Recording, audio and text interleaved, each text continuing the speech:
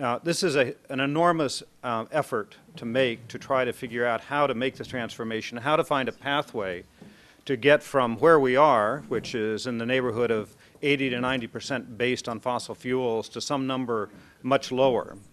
Uh, three years ago, we undertook a project in which we were looking at the transformation of the U.S. economy and dubbed that uh, the search for a secure low carbon pathway.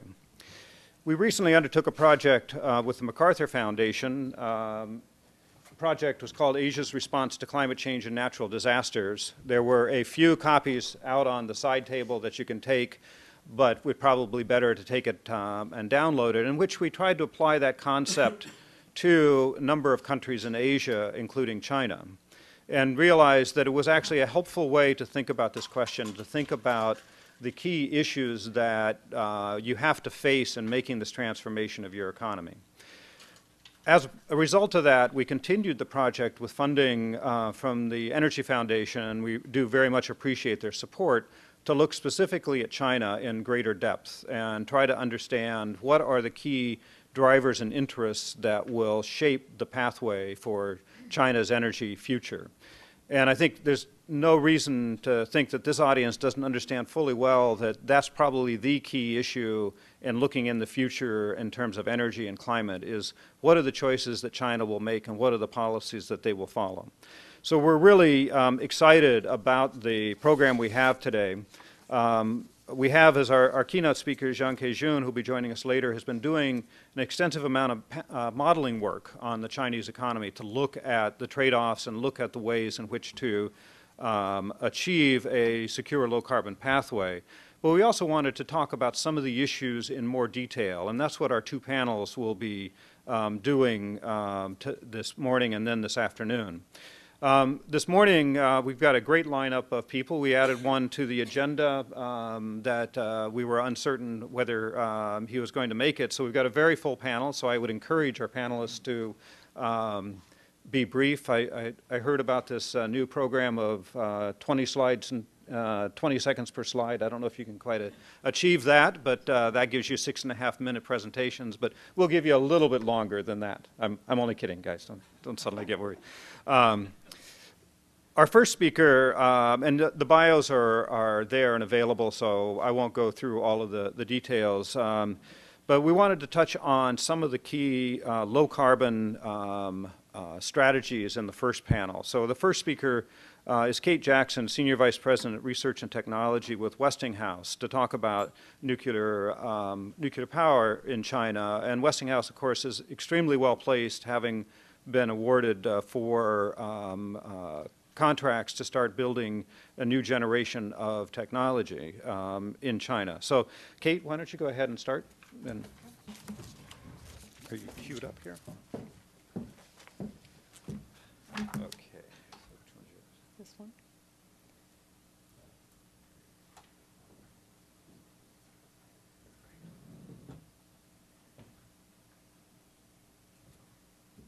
Okay, good morning.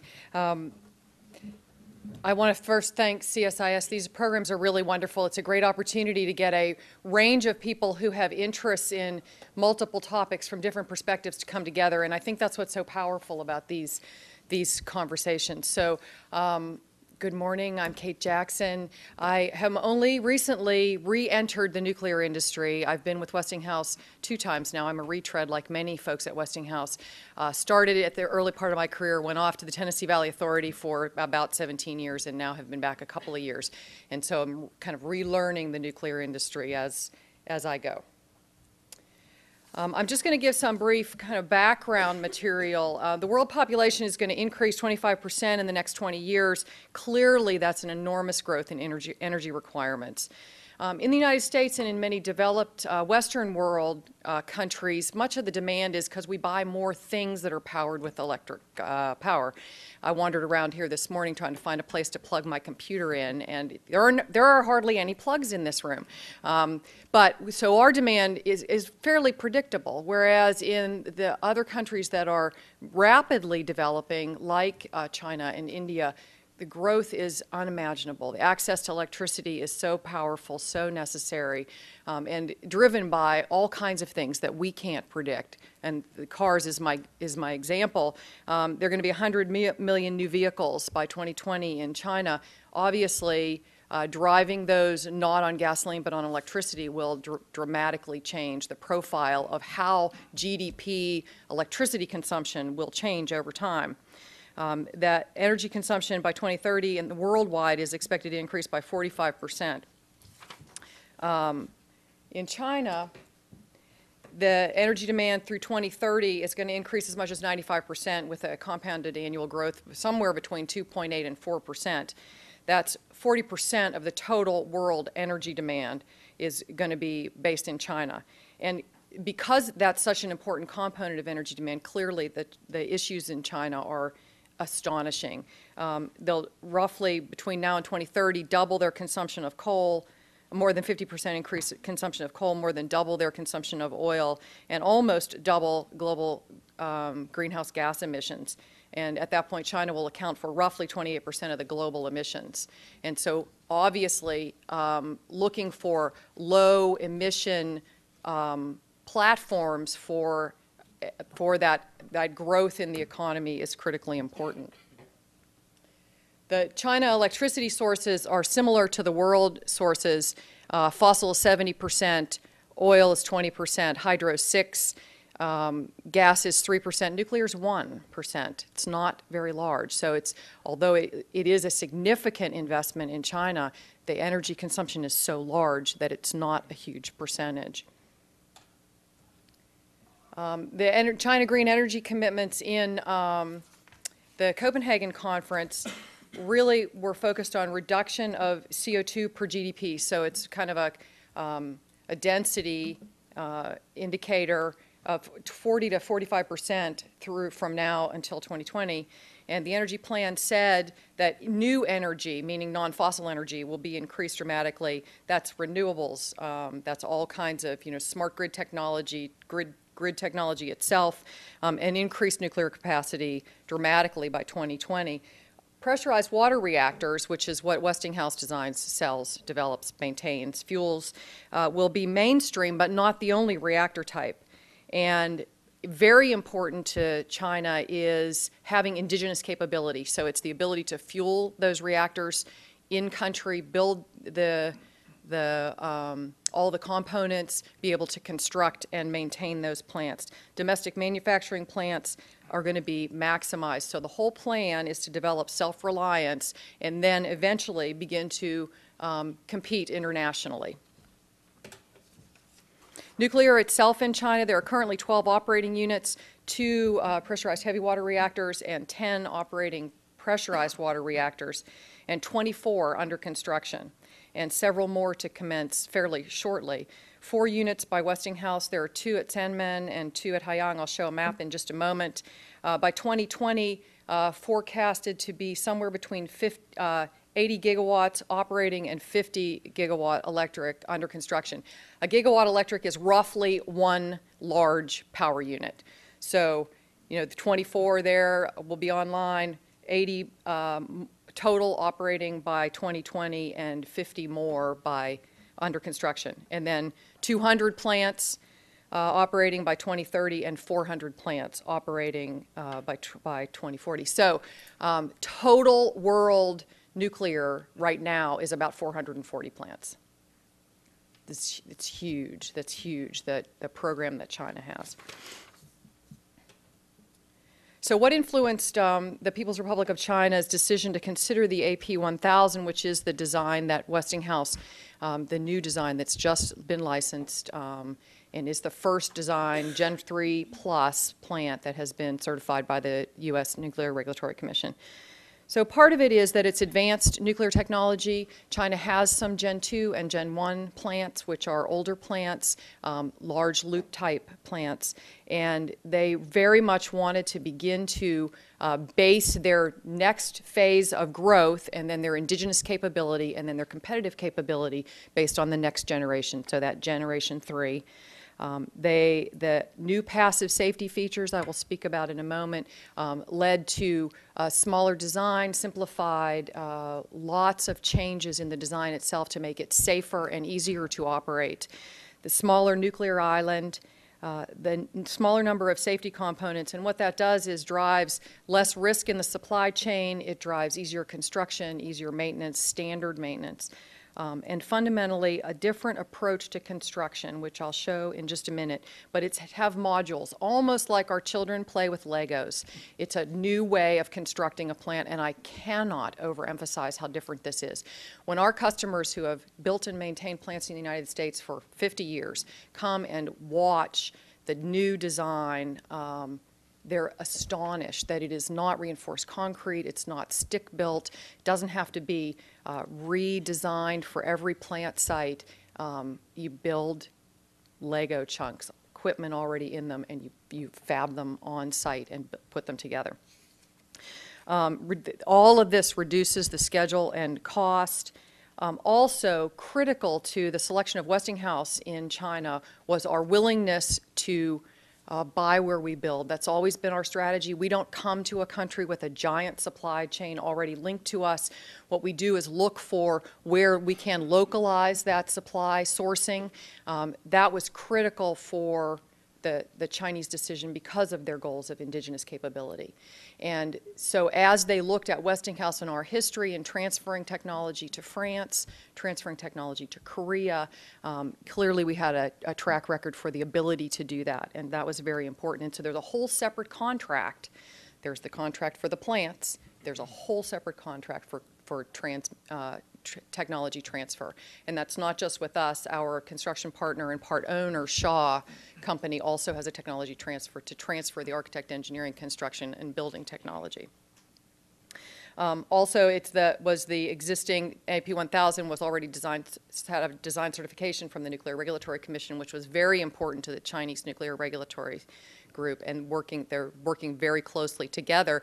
Um, Lots of flow of information, obviously, from the NRC to China, but now, as the construction is ongoing, site safety, site inspection, construction inspection, um, turning those drawings into reality in construction, um, in concrete. Um, Lots, there's lots of information flowing back to the NRC with respect to how things are going, how that construction process is ongoing. I know that was more than 20 seconds for that slide. Um, Okay, so here's a picture of the AP 1000. Um, It is the safest, most economic nuclear power plant now available. It's a simplified design, as I said, um, enhanced by the use of passive safety systems. Okay, I've said that. Well, what the heck does that mean? It means things like gravity. It means natural circulation, much like when you uh, have a teacup that the heat, the, the hot comes up to the surface, cools off, and then it flows back down. The cooler tea flows back down to the bottom, and it sets up a natural circulation cell. The cooling in any emergency, postulated emergency, would be based on things like the heavier water, because cooler, flows downward, cools the containment. Um, con- condensation, um, convection cools the containment. You need um, many fewer pieces of equipment and uh, fewer emergency systems as a result of all of these. Spent, we spent roughly a decade um, proving that gravity would work in these complex systems to the Nuclear Regulatory Commission. It's a completely new way to uh, manage a design, to manage postulated accidents. And so there was lots of integrated testing that had to go on to say, okay, this isn't going to be driven by uh, pumps and valves and have lots of motors and extra things. As you eliminate all those things, you got to continue to prove that the safety is achievable. So this plan is a 1,100 megawatts.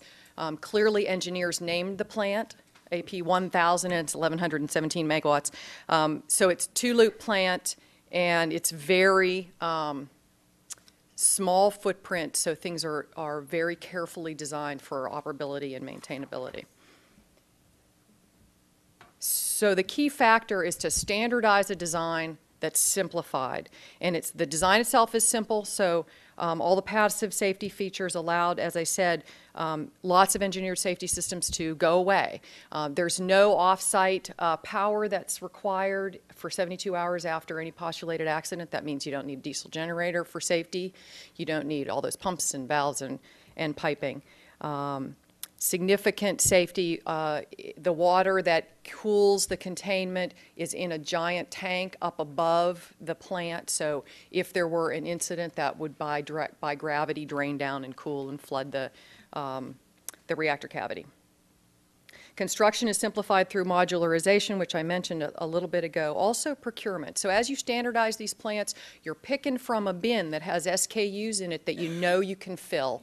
So there are all those standard parts or pieces are taken, so you can simplify that whole supply chain. All your suppliers then can simplify what they do because there aren't parts that are different for every single unit, and that's the way existing nuclear plants are um, in working for the Tennessee Valley Authority in the heyday of nuclear, um, TVA ordered one of every kind of plant it could possibly have. And so it was there as a federal agency to demonstrate that nuclear power could work. And so there was a, a regular pressurized water reactor. There was a fancy ice containment that had ice down in the shield between the two layers of the containment building. There was a boiling water reactor. 17 other reactors were planned, all of which later were canceled. But it was every plant's different, so you can't train staff with one set of standard operating procedures. There, you don't share lessons as easily from one unit to another or from one utility to another. So the whole plan here is to have standard, almost cookie cutter plants. That's true in China. The plants that we've sold in the United States will be exactly the same. So we've also sold six in the United States, and some of that construction is currently ongoing in the southeast. Um, So simple, I keep saying simple. So the fewer resources that you use, the more environmentally sustainable the design. Clearly, having nuclear not have emissions with respect to sulfur dioxide and, and nitrogen dioxide and all of the, the greenhouse gas emissions is important. But as you look at this slide, you can see that not using as many components is important as well. So 50% fewer valves, 35% fewer pumps, 80% less pipe, 45% less seismic building volume, which is a huge issue, particularly in countries like China where construction is, is going so fast that the availability of high-quality concrete sometimes is critical path. Um, 80% less cable, and then the little embedded drawing in the upper right-hand corner shows the footprint of a Generation 2 old-style Westinghouse pressurized water reactor design compared to an AP1000. And so it's just a smaller footprint, it takes up less land, um, it takes up fewer resources, it's easier to site. So I talked about the modularization. Um, Construction is, uh, is forecasted to be 50 months, and then another six months to get the plant synced with the grid and, and all thoroughly tested. Um, That's about three years faster than the average construction historically.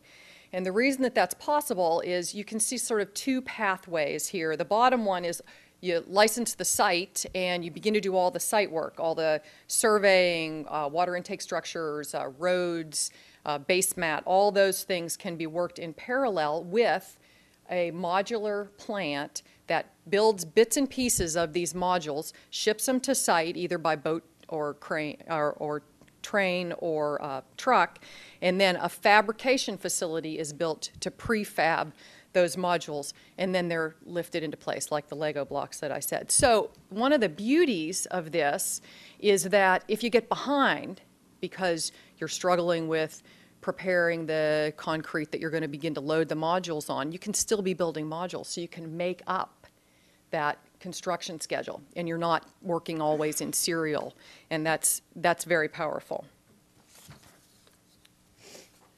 The China projects themselves, okay, there's a little map. Um, the Haiyang project is there just southeast of Beijing, and then Sanmen is south, uh, mostly south of uh, Shanghai.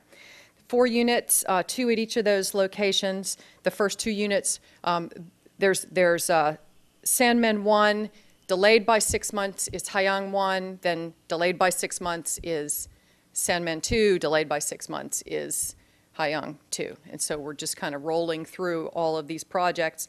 And um, there, the first two units will be operational in 2013, and then two units are operational in 2014, and we are on time and on schedule um, and on cost. And that's a new thing for the nuclear industry.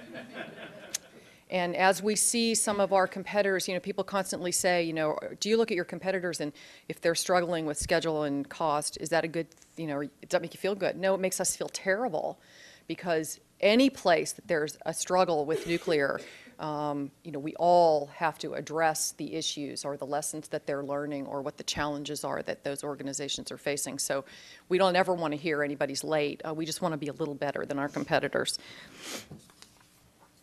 Um, I mentioned how important technology transfer was. Um, it was really a cornerstone of the negotiations in China, and we are um, transferring our technology to the State Nuclear Power Technology Corporation, and it's it is the most significant and advanced. I mean, it's it's everything. We constantly have Chinese nationals working with us in the United States at the manufacturing plants, at our supply chain plants, and then also working with their staff and training staff in China. Um, it is the goal of the Chinese um, this Chinese company to be able to extend the design into a 1,400 megawatt plant, a 1,700 megawatt plant, some in conjunction with us and some not. There will be follow-on plants. There are already eight of them planned. Um, there will probably be, you know, many of those 200 more plants will be AP1000s um, or AP1400s. And, however, our scope, Westinghouse scope, decreases over time so that we are eventually not providing uh, scope services other than potentially as a subcontractor. So clearly, as all those plants are there, we provide services, we provide fuel, we want to participate, and we are working to establish joint ventures with companies in China to be able to do that. Um, but the whole range of things from nuclear island design and engineering to instrumentation and control uh, to fuel operation and maintenance, uh, core design, and uh, manufacturing, cladding parts for the for the fuel and also architect engineer technologies. These are just some pictures. Um, the reactor vessel set uh, in the upper left-hand side, set in three rings and a bottom piece and a top piece. Um, very different than the, the welded, on-site welded, each panel separately. Um, the bottom right picture shows one of the continuous pours of the base mat concrete. Those are 50-hour pours. And the first one that we did, there was there were absolutely no cracks in it whatsoever. Suggests great technology transfer, great working with the Chinese folks who are working on site, good design, lots of preparation. The second pour was six hours shorter. The third pour at the third site was shorter. So every time the Chinese and we are improving how, how we're building these plants. I just want to show a video to show that it really is different. This is a, um, one of the 276 modules that there are. There are 122 structural modules and 154 piping and mechanical equipment modules. This one is the CA-20. It's the largest module. It's a, that's as big as a five-story building. It weighs 256, 856 tons. You can see the big counterweight there on the giant crane. There are some tiny little people running around in there. Um, so you can get a bit of sense of scale. So some of these modules have steam generators in them, they have pipes in them, they have cable traces in them, they, and they get set in pieces one after another. And the module is built on site at the module factory. Um, it's just in, incredibly different. It's a, very exciting. Um, so the second one of these CA-20s that was built was built in significantly less time than the first one. The second uh, containment vessel head placement was significantly faster than the first one. And so transferring those lessons learned is going to be really important. Um, I talked about the lessons learned. Um, each, each thing that we've done, the base mat pours, the uh, ultra-large steam generator forgings and reactor vessel forgings were done in significantly less time. Um, there are challenges, though. So sharing those lessons learned among those sites, um, we have multiple customers in China, sharing among them, recognizing that each of them is trying to stake out a, a territory for competition in the future, internal to China, but also establishing platforms for competition over the long term. Uh, staffing requirements, educating folks in China that can operate, can maintain, understand the material science, quality engineers. Um, so that's ongoing. And just the sheer magnitude of construction, moving that many people and cranes and getting the steel availability is clearly a challenge. Just a couple of words about Westinghouse. Um, We provide fuel, fuel services, operation plant services worldwide. Um, We are only nuclear. Tho- Those of you who have Westinghouse televisions, that's not us. Westinghouse Christmas lights, that's not us. We constantly get them back at this time of year when they're not working, um, but unfortunately, that's no longer us. We don't own the Circle Bar W brand, we just own the nuclear space of it. Um, Nearly 50%, 50, 50% of nuclear power plants in operation worldwide, and nearly 60% in the United States are based on Westinghouse technology. There are 15,000 employees. We've hired about 1,800 people every year for the past five years. There are about 750 planned to hire this year in 17 countries around the world. So someone said to me, well, you know, I really want to work for Westinghouse, but I don't want to work in Pittsburgh. I said, okay, have your choice. You can pretty much go anywhere. Um, There are four product lines, services to keep op- plants operating, uh, shorten outages, improve the amount of power that you get out of plants, extend plant life, nuclear power plants, which is the new plant business, nuclear fuel, which is all about provision of fuel and decreasing fuel leakers, having better and better fuel. Westinghouse provides fuel for roughly every kind of reactor that there is. Gas reactors, Russian reactors, uh, uh, boiling water reactors, our competitors' uh, reactors, and our own. We own roughly 50% of the fuel market. Um, We're also working on advanced reactors. I talked about the 1400 and 1700 in conjunction with China. In addition, looking at high-temperature gas reactors, uh, burner reactors that are fast spectrum reactors, um, and then a small passive plant.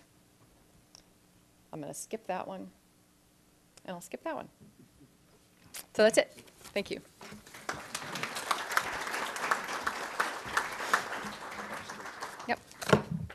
Uh, Thanks, Kate. That was, that was great. Um, I would uh, encourage you to uh, keep notes of questions you want to ask the different speakers, because we do have a number of speakers, and it's quite a wide range of uh, topics. So by the time we get through the last one, you may have forgotten uh, where we were. Our next speaker is Kang Wu, who is with the East-West Center uh, in Hawaii. Uh, Kang is a leading expert on oil and gas industry in China, and we thought it would be useful to have him talk a little bit about the unconventional gas um, discussion that's going on in China now. As you know, in the U.S., unconventional gas has really changed the picture, and so the real question, and many people believe that China can have a similar experience, and we thought that perhaps Kang could uh, help us to understand where things stand and, and what do we know. So. Good morning, everyone. Uh, thank you, David. Um, I, am very happy to uh, to be here and for uh, at the invitation of CSIS to share my views with you. And uh, as David mentioned, I, I, cover a bunch of issues in China, uh, particularly oil and gas. Today, that for a short period of time, what I'm going to do is, you know, today's um, the topic is supposed to be low carbon. Uh, potentials for China. So we look at the natural gas and conventional gas as one of the sources of the um, the, the, potentials. Of course, this is not entirely carbon-free, and we are all are um, aware of that. Um, that's why, you know, um, uh, for, for what I, uh, in the next few minutes, uh, uh, what I'm going to do is I, I kind of update you a little bit about the current situation of the unconventional gas in China, and then move to a, a little bit, a little bit bigger topic about the role of, role of natural gas in China's overall energy structure and the contribution to uh, to the low carbon thing that we're going to hear more from um, from our main speaker um, today. Um, for those of you who are familiar with the topics, we there are kind of three types of um, uh, unconventional gas, uh, mainly, uh, not exclusively. Uh, there is something called tight gas, and there is something called the coalbed methane, CBM, and is, there is a, a shale gas. Uh, in case of China, uh, tight gas has been produced for about 10 years already. They are part of the, the natural gas numbers, natural gas data you've been seeing um, uh, all the time. So they are already been there, about 20% of the production. Uh, usually people, um, um, I'm, go I'm going to skip that. I'm focusing on uh, CBM and shale gas risk, uh, potential in, in China. Uh, I, I, do have to separate them because they are at different stages of developments. Uh, first about the CBM, uh, the resources potential is uh, very, very large. and even bigger than the US, you know, if you uh, believe in the, the, numbers. We're talking about 13,000, 1,300 TCF, trillion cubic feet of uh, resources of the CBM in China. But uh, I just want to say that when you're down to the so-called proven reserves of the CBM in the country, it's only 2.2.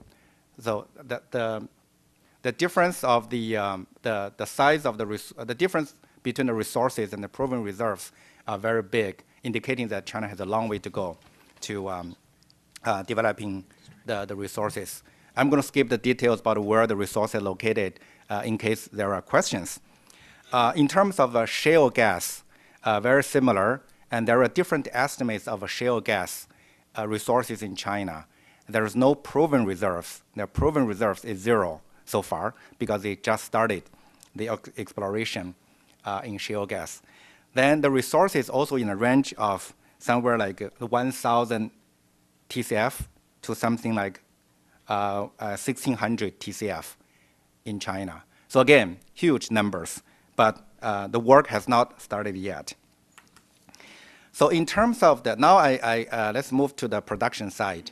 And here the huge difference between the CBM, coalbed methane, uh, versus uh, shale gas in China. The coalbed methane China has about a little over 15 years of development experiences already. They started in 1995 when China looked at the U.S. and U.S. has a huge coal industry, had a huge uh, coalbed methane production, which at that time was bigger than China's entire conventional natural gas production. So they looked to, China, uh, to the U.S. and to other countries like Australia for the potential, uh, for the possibility of uh, uh, developing China's CBM industry. But the results are very disappointing for the past 15 years. And there are many reasons which I probably will not go over all the reasons if, uh, unless I have some time. And so right now, uh, very simple, that China produces a meager amount of CBM. Uh, the volume is, we call about 7 billion cubic meters, 7 BCM. And out of that 7 BCM, um, is, is, uh, is only a, um, a 1 BCM is, is actually produced from commercial wells, even though China drilled about 4,000 wells already in, in surf, um, surface drilling. And another, another 6 BCM, uh, billion cubic meter, is actually from, uh, from the uh, extraction uh, of the coal mines, coal mines extraction, which is pretty much flared. It's not really much uh, utilized. And production of shale gas, zero right now. So just the status of that. Then after, uh, now I move back to CBM again. Um, in terms of consumption and distribution, um, because of the 15 years of the development, they have done a lot of work in this area, but still were very much underdeveloped. And out of the whatever the production in China is merely about 30% is being consumed. Another 70%, 70% really kind of flared. And mainly because they're produced by coal mines. And the first job of the coal mines is really extract coalbed methane and release it so they can uh, make it a little safer. And so they need to improve not only the overall production level, but also the ratio of the consumption. Distribution of CBM is a big issue in China. This is one of the obstacles why in the past 15 years it didn't do very well. Because CBM, the cost of developing the pipelines for CBM is very, very expensive. And it's a chicken egg problem that you need a bigger CBM production to be able to justify the long distance pipeline to, uh, uh, to distant cities. Uh, uh then you need the pipeline infrastructure to justify upstream investment. So they go on and on uh, like that. And in the meantime, China's overall infrastructure, particularly 15 years ago, of the natural gas infrastructure is very much lacking, which is another obstacle. Uh, you know, as a matter of fact, for uh, even though today uh, China's length of the natural gas pipelines perhaps is about um, about 20% and less of the U.S., uh, 10 to 20%. Even that is kind of built. 80% of that uh, infrastructure we've seen today, which is much bigger than before. 80% was built after 1995. So you can imagine, you know, 15 years ago, when China started CBM, the infrastructure was very much kind of in shortage. And that is reason why, that was the reason why, so you, you, you cannot develop your own long distance pipelines you cannot connect to the existing ones because it was non-existent. Of course, things have changed. That's why the next 15 years may be different. In terms of the uh, uh, shale gas distribution, it doesn't exist, just like production. So um, there is a little bit about CBM economics in China. Um, the, th this has something to do with overall natural gas pricing regime uh, in the country. Again, this is one of the impediments why CBM was not very well developed, because Chinese natural gas price regime is very much regulated, fragmented, and very much kind of depressed in, in, in many sense. Uh, although there is a dilemma, you know, if you set the prices too high, consumer cannot pay. But overall, you know, uh, natural gas pricing was regulated and depressed, and that also hinder the uh, development of CBM for the uh, um, for the past 15 years. And, but that has improved quite a bit in the past several years. And China continue to reform the natural gas regime, and that certainly, in many ways, helping uh, the, the unconventional gas, both coal methane and shale gas. And our numbers suggest that the current CBM economics are right in the edge of the natural gas price regime. So they are, they are uh, kind of uh, uh encouraging um, if you also consider the government support, which I'm going to uh, cover a little bit later. And shale gas economics is, uh, is very hard, very difficult to um, gauge at this moment.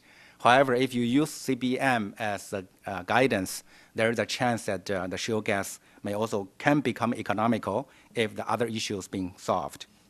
Uh, now the players uh, the main the main players are a little bit kind of again different among these two types of um, gases.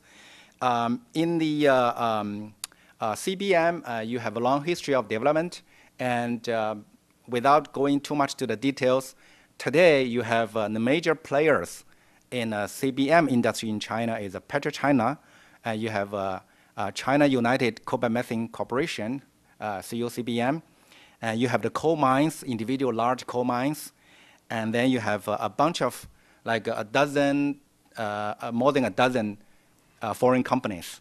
They have contracts with uh, both PetroChina and CUCBM uh, at, at present. So we have, you know, a number of companies that in case you are like Green Dragon Energy, Far East Energy from here, and you have Fortune Oil in, in Hong Kong, uh, Asian American company. There is a long list of the companies, and uh, they, they share the contract with both um, PetroChina and, and CUCBM. The, uh, the provinces that this contract involved, mainly in the North China, Shanxi province, and also neighboring Shaanxi province, but also in southwest provinces like Guizhou and uh, Yunnan provinces, and, and in the eastern part of China, like Jiangsu province. So there's all over the place, but you can see that it's pretty much where the uh, coal resources um, uh, concentrate. Uh, shale gas, uh, the player is a little bit different. Shale gas has nothing to do with coal, at least. So the major players are the main state oil companies in China. So you have a CNPC PetroChina again, uh, you have a Sinopec, now you have CNOOC, and CNOOC, which is an interesting player.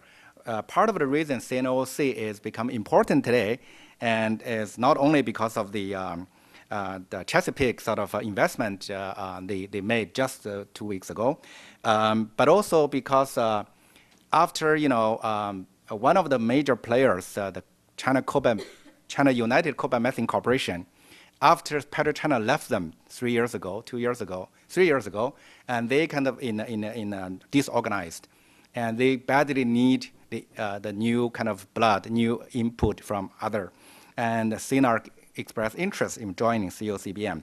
So you can see that suddenly CNOOC as offshore company now is uh, jumping in, in, in a field, become a, a, player. And then you had foreign companies. So they, uh, because shale gas started only last year, so unlike CB, uh, CBM, you have uh, over a dozen small companies, but also like Shell and, and Chevron among them for the CB, uh, CBM. But in shale gas, it's more currently is mainly the, the major foreign companies and uh, some, some uh, Australian companies like Shell, BP, and Chevron, and, and also Arrow Energy, which is now bought by uh, CNPC and Shell. And, and, and also um, the spin-off of Arrow Energy, Dart Energy, and in, in, in the area. So you have a selective, you have a few uh, foreign companies. It had a cleaner start because everything uh, is no history for this uh, um, and uh, for, for this uh, development. Uh, of course, PetroChina is already in Canada looking for um, this kind of experiences of shale gas and CNOOC, I already mentioned, and the CNPC also, as mentioned in Australia. Uh, in terms of the policy support, the government uh, today have uh, pretty much systemized the, the policy support for CBM. Although the CBM players still believe that is not enough, um, there's a few things. Uh, the most important one is like value-added tax. It's kind of uh, there is a um, uh, reimbursement, accelerated depreciation. There is um, direct subsidies of the price, and resource tax exemption and income tax exemption and, and reduction. And shale gas, uh, that's applied for CBM so far. And shale gas pretty much have a similar, um, uh, although it's not quite final yet, but, but expected to have the similar, enjoy the similar, a similar kind of uh, uh policy benefits. So um, the last thing about this one is the future growth, where China will, will, will go. And I know that the, the units can be, um, um, can be um, uh, problems that uh, I, I, mentioned 7 BCM uh, uh, of the uh, production of uh, CUCBM. there are different numbers um, uh, reported by China, even planned by the authority. Some of them very, very sort of uh, ambitious. For instance, you know, one of uh, one of uh, one of the targets in the medium long-term program in China, energy development, saying that by 2020 they were going to produce 50 BCM, 50 BCM of coal and methane only. So think about it. China's uh, gas production is only 83 something uh, BCM last year. So 50 is, is a huge number, and I, I think it's really ambitious. But PetroChina and uh, now has a more realistic target. Uh, CNPC has a target about uh, 10 BCM by 2020, only for CBM. And Sinopec has uh, um, uh, kind of a 2.5 BCM of, um, uh, of uh, unconventional gas combining CBM and shale gas together. The, um, and then you have all kinds of other sort of uh, reports about the targets. And basically, what, what, what I'm looking at is uh, my base case kind of projection uh, following the, um, uh, their production plans of the individual players. I'm, I'm just going to give you a reference number because I'm going to use this number a little bit later um, in, in a minute. That I'm looking at CBM roughly about 20 BCM by 2020, and uh, shale gas is about 80 BCM, 8 under 10, so 8 BCM by 2020. So we're looking at 29 BCM by 2020. I have a high case and low case. I'm not going to show the numbers here. Um, so what is the share of this? Uh, what does this mean? What is this 20 whatever um, uh, BCM means? Uh, the ballpark number is by 2020, uh, um, I'm looking at uh, combining CBM and shale gas as unconventional gas is about 15, 15% of China's total domestic gas production, combining unconventional and conventional together, is about 1.5%. In terms of production, it's about a little under 10%. It's about 9%. That's how I look at it in, in a base case, but there's a uh, high case um, uh, as well. So now I, I, um, I, I, I, hope I have a few more minutes, and uh, I, I move to bigger issues because unconventional gas is gas, right? It's not like um, um, um, that is, is, is totally separate products. So why natural gas? Uh, there's a, you know, issues we already heard earlier that China you know, has a high economic growth and a high energy, um, depend, uh, high energy consumption and had very, the highest, I would say, among the major economies, China has the highest dependence on coal. And uh, in comparison, the share of natural gas is uh, amazingly very low. It's, only 3.4% in a total primary energy uh, consumption. So what is a, a, benefit? So for every 1% of the increase of natural gas replacing coal, the savings of the coal will be 50, uh, 50, 50 million tons of coal savings in today's standard. And by 2020, there will be almost 100 million, coal, 100 million tons of coal uh, savings. Uh, uh, uh, less of coal consumption for 1% of the um, natural gas in, percentage increase. Uh, the government has a very ambitious program. Uh, the, you know, from, from they, they are going to raise the share of natural gas from uh, um, 4% to 10% by 20, uh, actually they are, they are even, by 2020. Some mention 2015, which is kind of unbelievable. But um, I'm looking at double the share from like roughly 3.5% to about 7%. Let's say 4 percentage, 4 percentage increase by 2020 for China's natural gas uh, uh, consumption. That will, will replace, um, by 2020, 400 million tons of coal uh, consumption. And so that, that's kind of huge uh, sort of a benefit of, of, of, doing that. And continuously, um, why natural gas um, uh, for China and that not only because of the coal is over, uh, over dependence on coal and less uh, de development of gas. And China also has a huge uh, gas potential, and we just mentioned both uh, uh, conventional and unconventional. So that, that, is a, um, that is a kind of benefit of, of doing that. And China's imports of natural gas is still very low, although China has become the first Asian countries to import both LNG and the pipeline gas. Only the first country, even though the volume is very small. But you know, Thailand import pipeline gas, but not LNG. Singapore import pipeline gas, but not LNG. Japan is a big LNG importer, but no pipeline gas. So China is both from Turkmenistan and from, from LNG. And energy security implications for using more gas is also there because oil is the issue. And lastly, and uh, uh, that is, is, is, a cleaner and more efficient uh, efficient fuel, but it's not carbon free.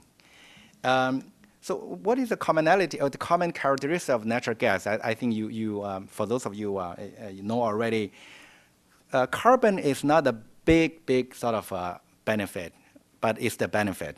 It's about roughly 50% less than oil, less than coal, and about 30% less than oil. But again, you know, the range can be very big. Um, but if you're coming down to the NOx issue, the nitrogen, you talk about sulfur issue, other than the sour gas in the Middle East. But China is a sweet gas, so it's a different story. So uh, sulfur um, is the benefit is huge, like 80, 90% uh, lower. Particulates and mercury and other impurities, of course, is really, really a lot of benefits there. And that, that's a, the, the, the, reason that you want to. Uh, so what is the challenges for natural gas? Uh, uh, again, I don't want to uh, talk too much about, about this. Number one is politically, natural gas is still fossil fuel. So many people don't necessarily distinguish between, uh, they don't want to distinguish oil, gas, natural gas from oil. They're all petroleum. So if there's petroleum, they have, they have a trouble, they're fossil energy. So they have a trouble future. And in China, particularly, there is a market fragmented, fragmentation problem. Natural gas in, uh, market in China is small regionally, and is, uh, is fragmented. So the economy of scale is, is, is an issue. And infrastructure is still lacking and improved a lot is still lacking. Pricing issues is still a long way to go. How China can link the price of natural gas with other fossil fuels, particular oil, and, and how to link, how to link, and what about coal? And th those kind of issues are still kind of a, a, a, a problem facing challenges facing facing the country and competition from coal and also occasionally from oil. That's the other way to look at this. They do have competition from coal strongly, and also like LPG and uh, and, and and other issue, uh, other oil products. And and if you, uh, if you want to import more LNG, then rising international gas prices is a challenge. In the meantime, it's a challenge for the imports, but also the uh, uh, benefits for the unconventional gas, which is the higher price means you know you have a better alternative than uh, to, uh, to the LNG imports. So um, I want to come down to the, uh, the final numbers again, you know, what, what that unconventional uh, sector supposed to mean again. So come back to unconventional gas issue in China again. Um, I, am not look, looking at a 2050, you know, that long term, only, only uh, 2020. Uh, that I already mentioned that in terms of the production, it's about 15% of the total gas production by 2020 and under 10% of consumption by 2020. Um, but in terms of the unconventional gas only, um, based on the, uh, my base case scenario, that uh, um, by 2020, with the amount of unconventional gas that uh, uh, produced and utilized in China, they could save around 50, 50, 50 million tons of coal by 2020. So it's still kind of meager. So we have to we have to uh, be realistic and put into that perspective. But as many um, um, of you realize and other people um, kind of um, uh, predict, if there is a similar to the U.S., if there is no restriction and everything fully the full potential realized, the upper end, the upper uh, uh, uh limit of the unconventional is really unlimited. So sky is the limit, and and also timing is the issue. Beyond 2020, uh, 2030, then the, the, the amount of um, unconventional gas will become much bigger, and when the economics um, is is right. Um, well, I um, I that's pretty much what I, I want to say, and uh, there are some international issue, international um, cooperation issues as well. And when President Obama visited um, uh, China, they signed this uh, um, uh, shale gas cooperation agreement with Chinese, and there's a lot of uh, things going on between China and the U.S. Uh, on this um, in this area. So that that you know is is another perspective of this unconventional gas. Still, you know, China has a lot to learn from the from U.S. and still have have to um, adopt the right technologies for um, for the unconventional gas development. I know my presentation is very short, and I'm looking forward to questions and to give more sort of clarifications. Thank you. Thank you. I think we'll go, since uh, his uh, presentation, Nate, I think your, is your presentation that's up there?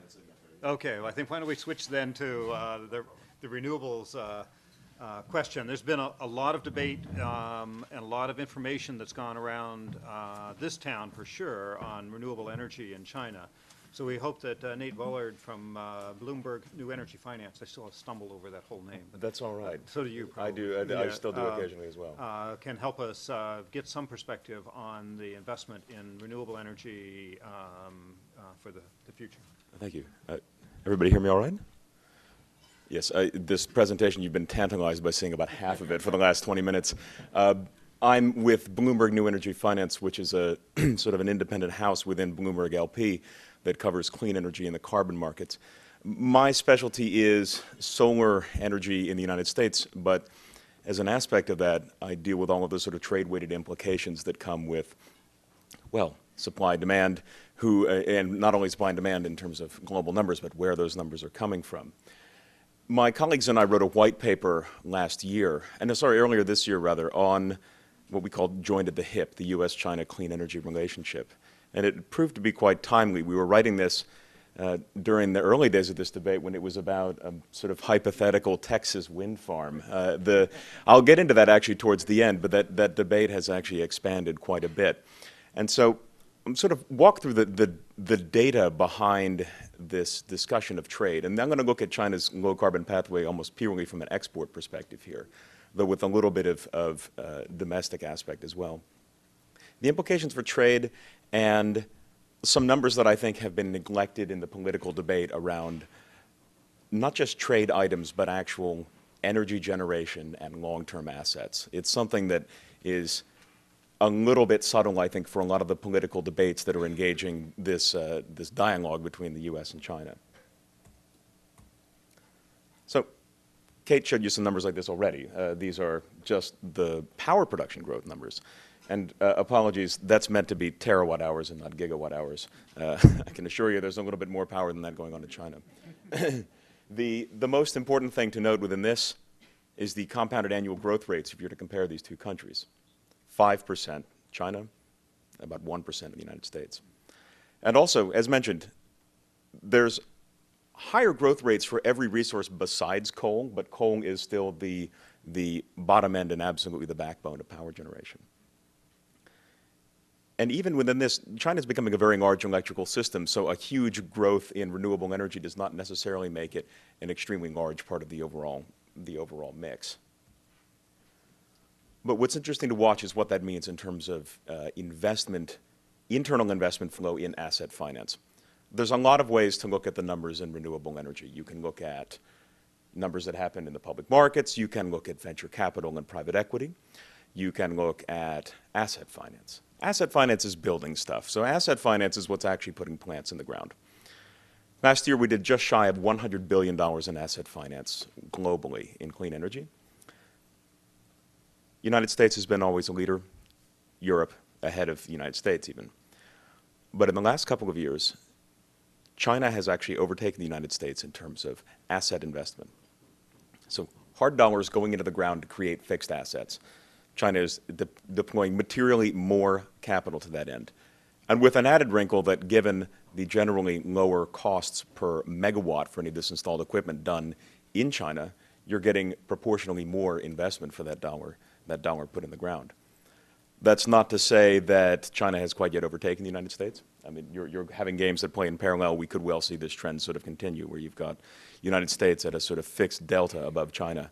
Though honestly, I doubt it. I think that you'll see more asset investment in China, especially if you include all of the sort of supporting investment that you need in terms of grid development. The other aspect is equipment manufacture. If you want to get into where China really leads right now in an external facing aspect, it's in the manufacture of equipment. Quick show of hands if anybody knows where Yingli Solar is based, or for that matter, has even heard of it. On the table, we'll get some people who know it, probably. I see two hands. Okay. Solar Fun, JA. Canadian Solar, despite the name, is completely a Chinese company. Uh, they moved their corporate headquarters, but these are, these, are, these are companies that have, have rapidly, and I think for those not, not watching this quite as closely as I watch, very healthily entered the global market for clean energy equipment. And in fact, if you're looking for the largest producers of cells, so the fundamental, the fundamental element of creating a, a solar panel and then creating solar power, China is in the lead. In the top 10 manufacturers, in fact, you have only one that is U.S. On wind, it's a slightly different story. The largest uh, company is in Denmark. The second largest is GE.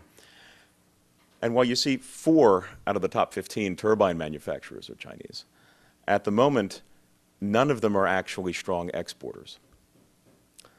Solar technology in China is, is a completely well developed at the moment as an export industry, but interestingly is not much of a domestic project industry yet. China is proceeding uh, at a very measured pace uh, and a very cost focused, uh, in a very cost focused manner on deploying solar power in China.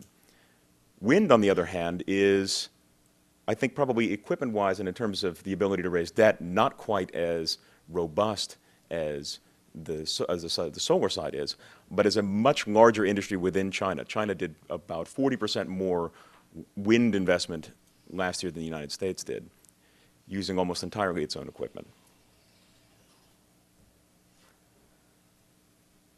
If you want to talk exports, this is those companies that I mentioned, Yingli, Trina Solar, Solar Fun, and the market share that they've been able to capture in the U.S.'s largest solar market, which is California.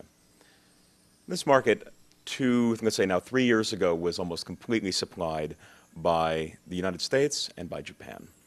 And in the past several years, you see this progression wherein China takes increasingly more and more market share out of a very cost focused and, I should say, quality focused and finance oriented market. So you start to see these proportions in the market 40%, more than 40% market share in any given quarter coming from China those are hard numbers in the sense that that's actual equipment that will be financed and go into the ground using U.S. lending standards and using uh, the scrutiny of a lot of U.S. equity investors. Important to know. I want to get into sort of the enabling aspects that allow this investment to take place. This is the dollar yuan conversion. This looks like pretty much a uniform function from 2005 to 2010.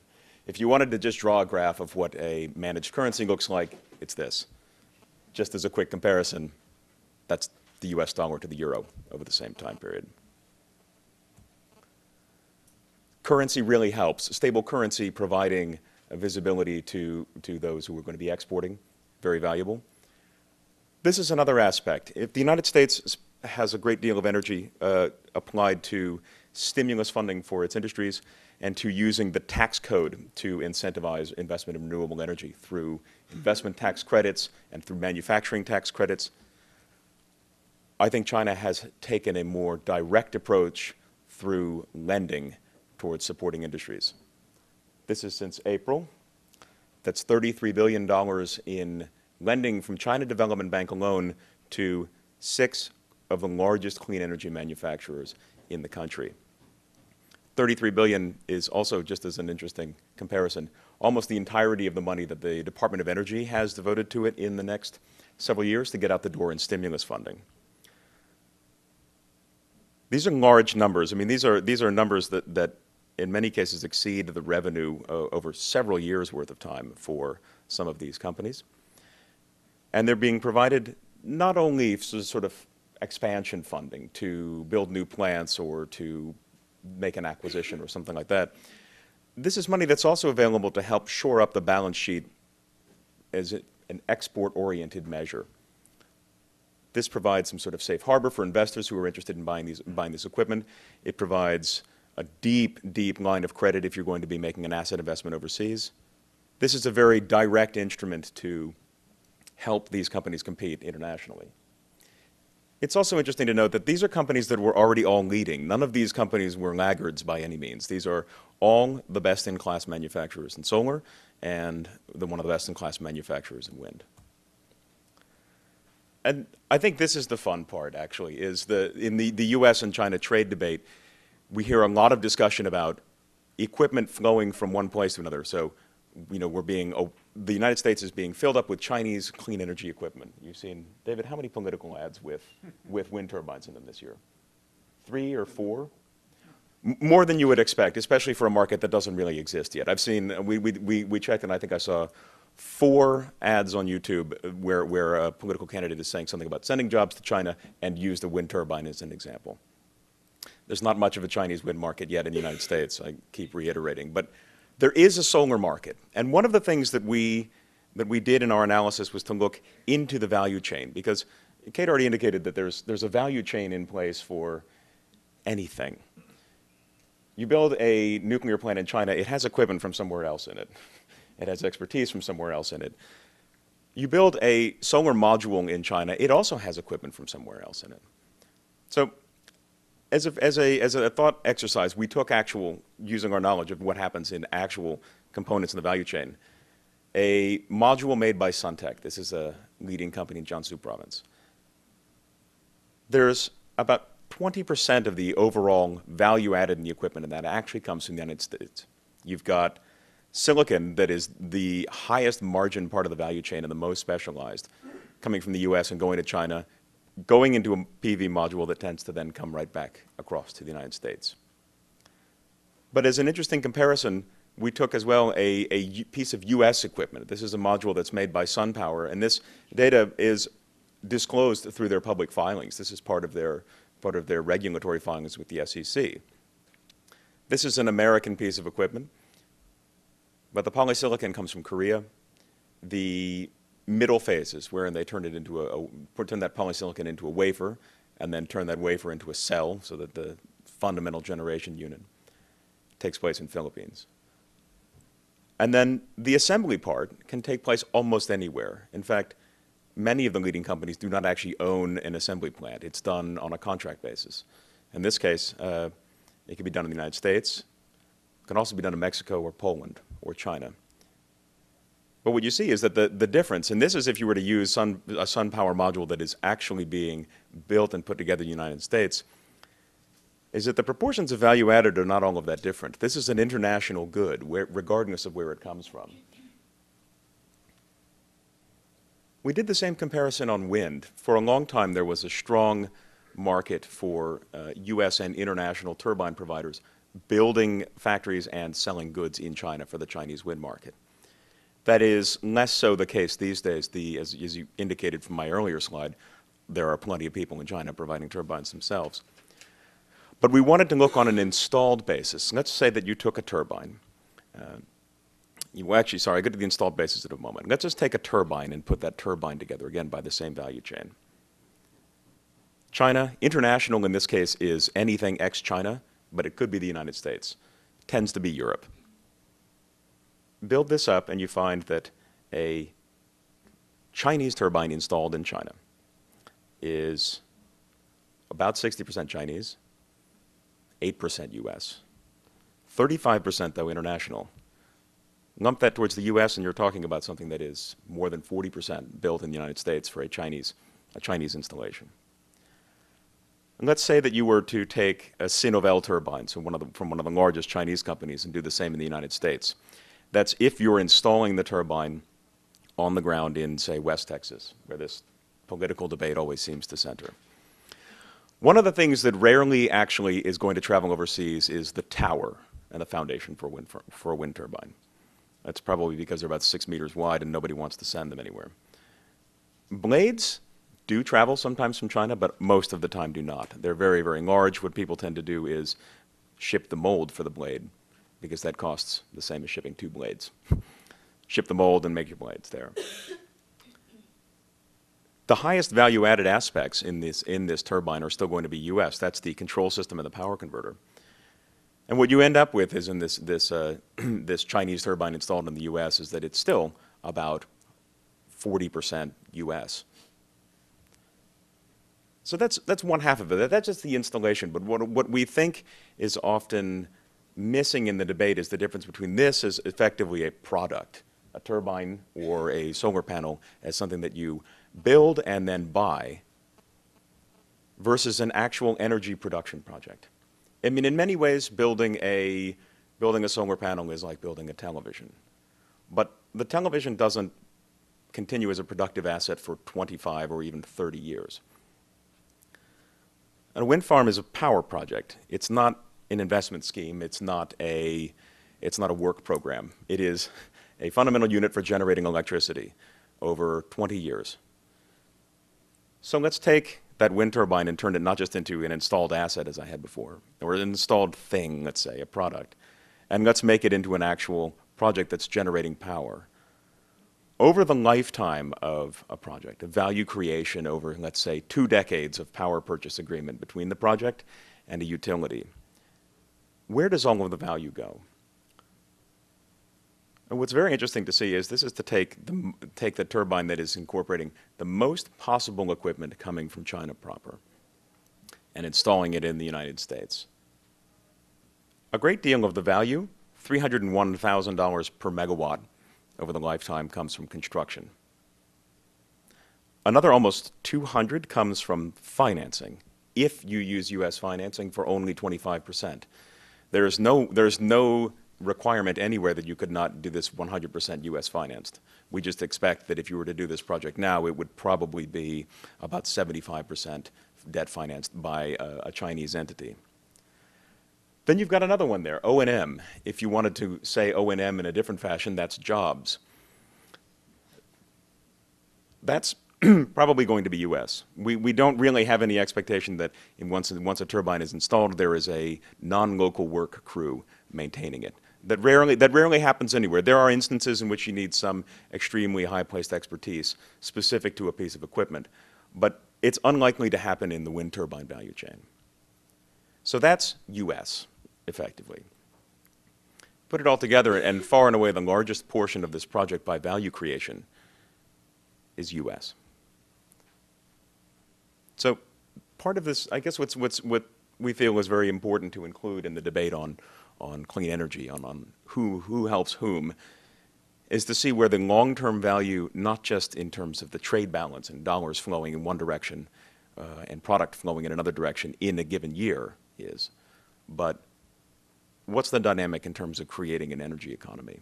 And that's a little bit more subtle and I guess a little bit more complicated. And I think actually that's it, except for one more thing. I forgot I had this one. Uh, there's, there's, there's, one, there's one last wrinkle, which is for all that talk on investment. I mentioned in the total numbers on clean energy, there's lots of ways to talk about it. And one of the most popular ways here is to talk about venture capital and private equity. This is uh, an instrument of financing, a vector of getting capital into play, and for creating companies that the United States really excels at. And in that sense, this is still a United States game and is likely to always remain one. if China might have taken the lead in terms of asset investment, it had only a very brief lead years ago in venture capital and private equity investment in clean energy, and the United States has managed to get back on top and stay on top. What you see there in 2006 is actually the money that came in to those solar companies that I mentioned before, which was the last phase of capital before those companies then became public. All of the money that came before was being provided by local and provincial governments uh, and by some local financial institutions. It's now not really there anymore. It's not really needed. These companies are large enough to get a $9 billion loan from the China Development Bank. Seeking venture capital and private equity is not really necessary. But what these figures, the United States figures, 2008, 2009, 2010 represent is companies that are going to be founded in the United States, uh, and in many cases are providing part of that value chain that goes back and forth to China in the interaction between, between the two countries, not just in the one-way trade flow. And I think now that is actually my last slide. So thank you very much. If you guys are interested in the white paper, we actually have it published on our website. It's available for download, and it gets into these, these issues sort of in greater detail. And uh, I look forward to the discussion. Thanks. Um, Thanks, Nate. Um, Our next speaker um, is not on your, your program because we were actually uncertain uh, that uh, he would uh, be able to be with us uh, today. Um, We didn't really want to do a uh, discussion of secure low-carbon pathways without talking about energy efficiency because it is such a, a central part of the Chinese policy and approach. Um, We had uh, uh, tried to contact a couple of people who have been working very closely, um, but unfortunately, they have now taken on a new endeavor with the Department of Energy and had to cancel their participation uh, at the last minute. So got in touch with John Millhone, an old friend from uh, the Department of Energy who's now at Carnegie, and asked him if he'd be willing to step in. And after some uh, soul searching, he decided he would come and join us. Um, John, we'll have to get your uh, presentation up. John um, has a long history in energy efficiency worldwide, and I think is going to present something based on the work of Mark Levine um, at the uh, uh, Lawrence Berkeley Laboratory. Lisa's coming. What's that? Lisa's coming. Oh, good, thank you.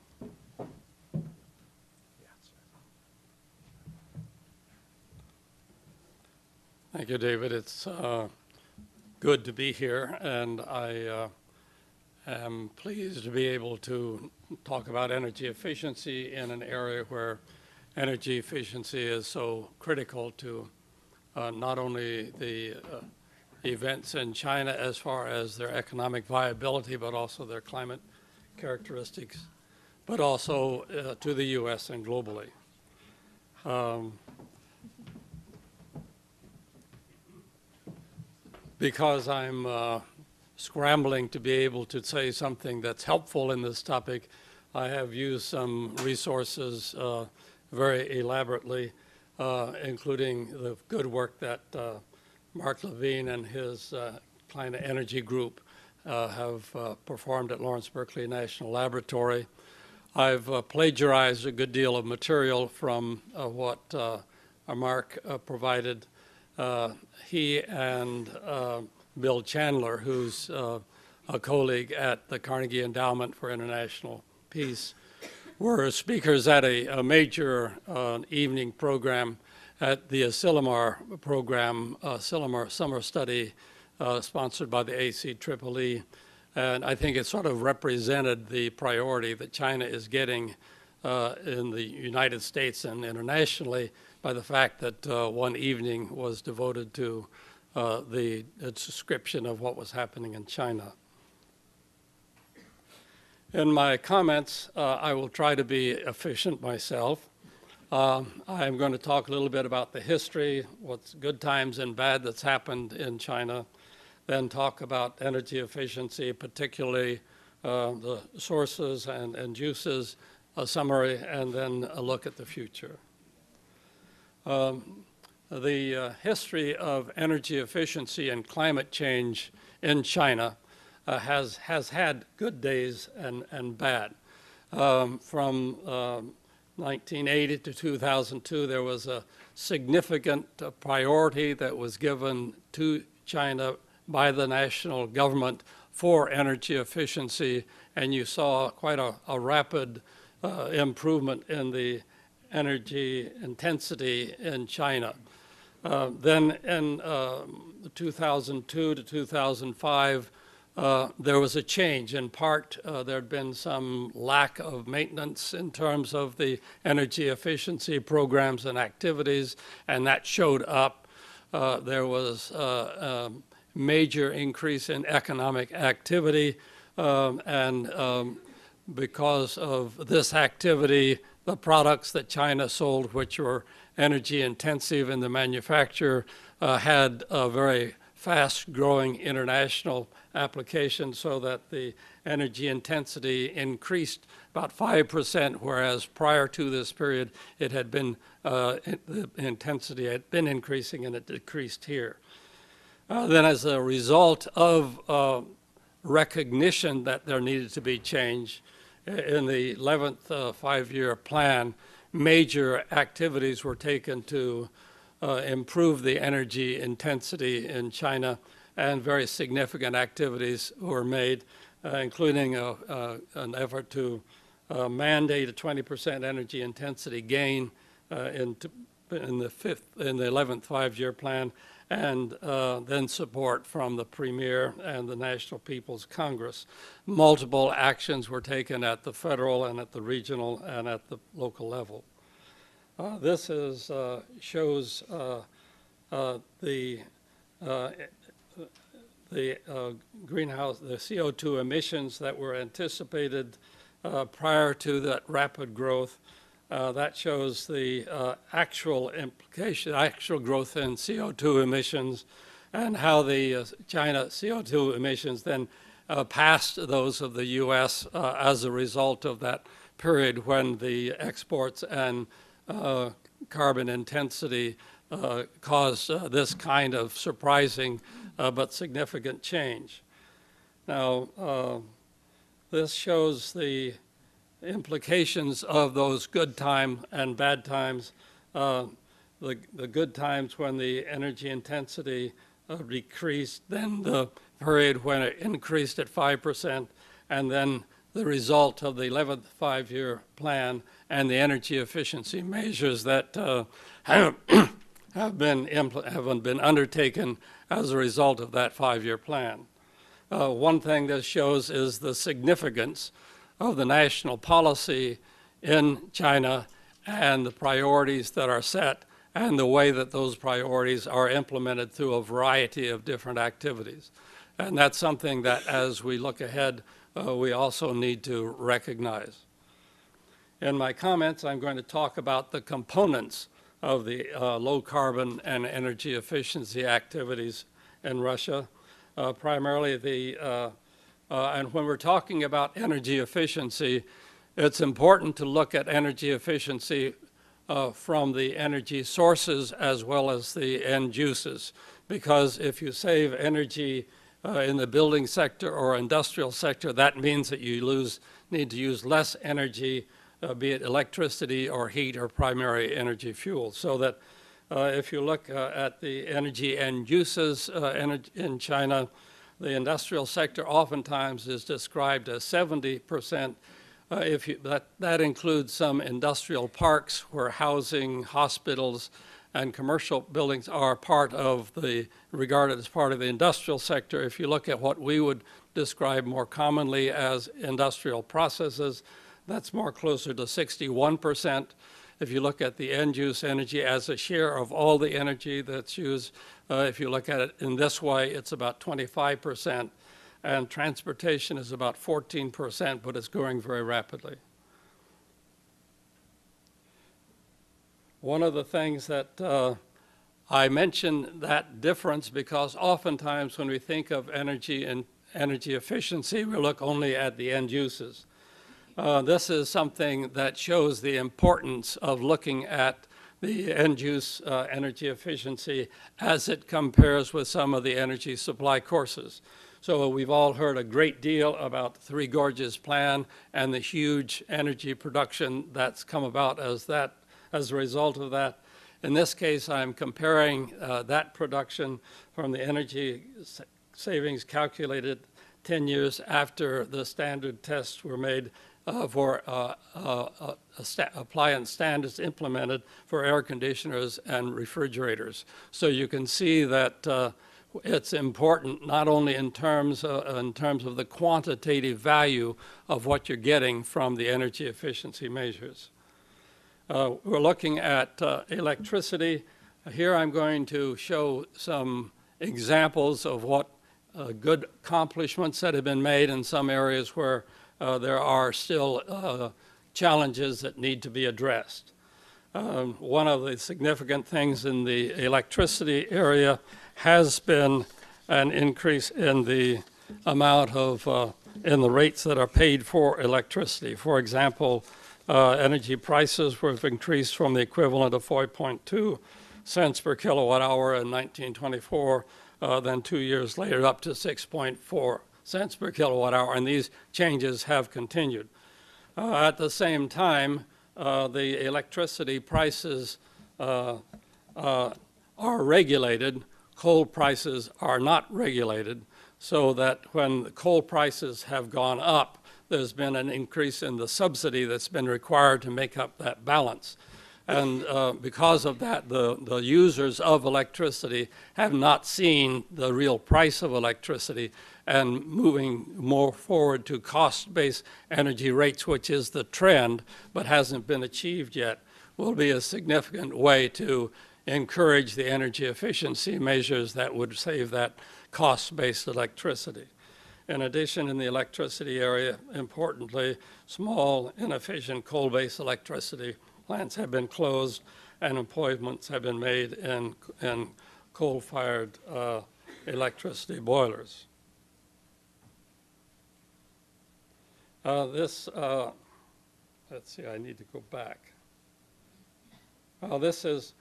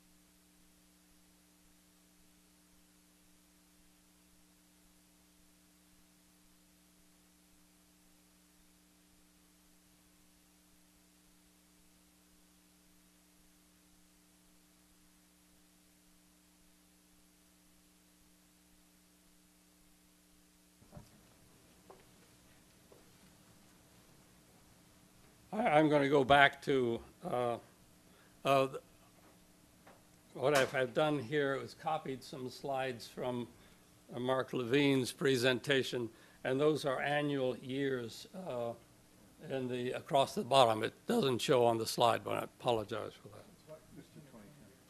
What's that? To, to- to 2010. Okay, I'm going to go back.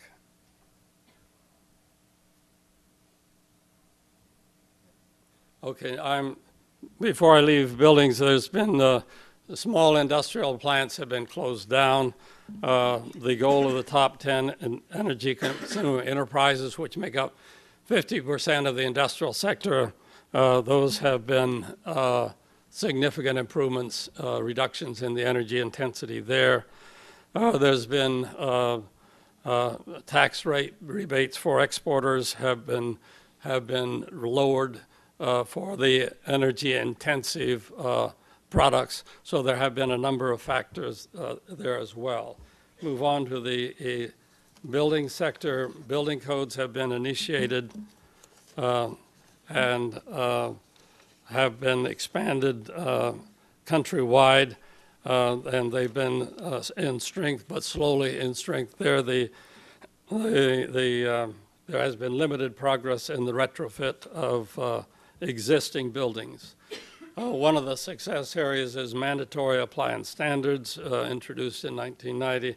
Now they've been expanded to uh, 23 products, including most residential and commercial appliances. One of the important areas is government procurement.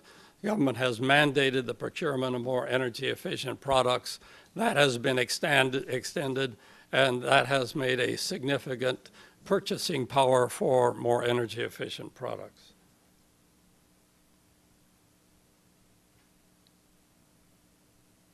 Uh, This shows uh, one of the uh, differences in the performance in some of the buildings area.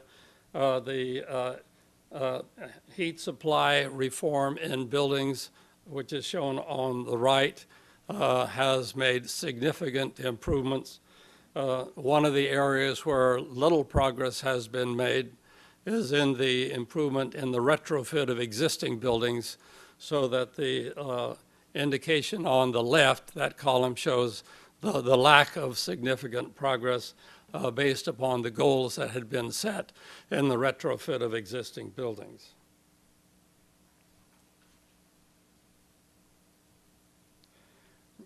In the area of, could I have water? In the area of transportation, uh, there's been progress through the mandatory fuel standards for vehicles, uh, 16 different weight classes uh, for, uh, for uh, built, and these have been significantly increased, although, uh, and rank favorably compared with some of the U.S. standards, for example. Um, Then the emission standards, China has followed the European standards on emissions. Uh, and there have been uh, taxes on vehicles, and those have been higher for larger energy-intensive vehicles. In summary, then, uh, the aggressive top-down priority that China has given to energy efficiency has achieved unparalleled results. Uh, The challenge now is to build an implementation capacity so that the goals and policies that have been set uh, are more effectively implemented, to strengthen the compliance uh, with the programs, and to prioritize and integrate these various results. Uh, The uh, issue now is what's a way ahead. The reports being received from China's uh, 12th five-year plan, which is just getting, excuse me, which is just, that didn't help much, which is, which is just getting um, uh, announced recently, and we will be hearing more and more about the effects of that as we go forward. But the signs uh, from what we've seen so far are encouraging. That if uh, the tough targets that have been set in the 11th five-year plan appear to be continued into the 12th five-year year plan uh, and uh, to be included in terms of energy efficiency and carbon change. The plan is expected to see uh, a 15 to 20 percent reduction in energy intensity uh, to will continue the guidance that have been taken in the 11th five-year plan. Uh, A spending program of a significant amount 754 billion for alternative energy the next 10 years is one of the expectations. This information is from uh, Climate Wire, which is providing sort of the earliest reports that I've seen in terms of the content of the 12th five-year plan.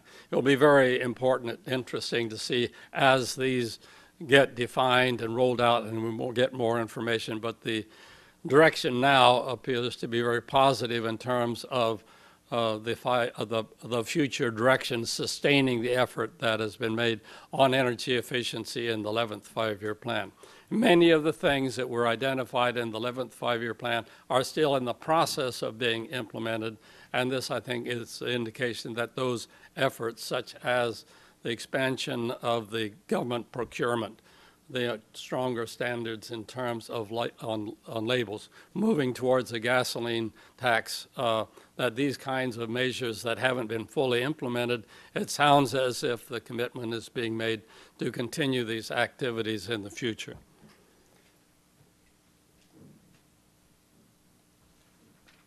I'm going to uh, finish up uh, with some of, uh, with some projections that have been made uh, by the China Energy Group uh, that uh, Mark Levine showed at the presentation in Asilomar, because it looks to me as if uh, that is a significant part of the, uh, of the program that's being considered today. Uh, They have developed a model uh, on China's energy group that's fairly extensive, and it- you can find that on the China Energy Group webpage. Uh, And this is an effort that they've made in terms of the- looking at what they anticipate the changes will be over the next period of time. Continued improvements are expected, uh, and with accelerated improvement, uh, accelerated attention to energy efficient, this is the forecast that they're, they're looking at. Um, With uh, the, uh, the different colors representing, the blue is uh, industrial, uh, the, uh, the um, yellow is, I think, transportation, and the others are buildings, residential and commercial buildings. So you can see that uh, um, they peak out a little bit earlier according to the information that, that uh, they are uh, using, finding from their models. And this uh, provides some information in terms of how, in their projections, their model, they think the- these changes would be taking place.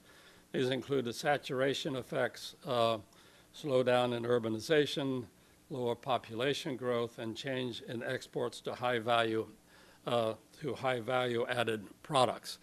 Uh, So this is an, an overview of uh, the energy efficiency history, the measures that are being undertaken, and the anticipated future uh, in, in China.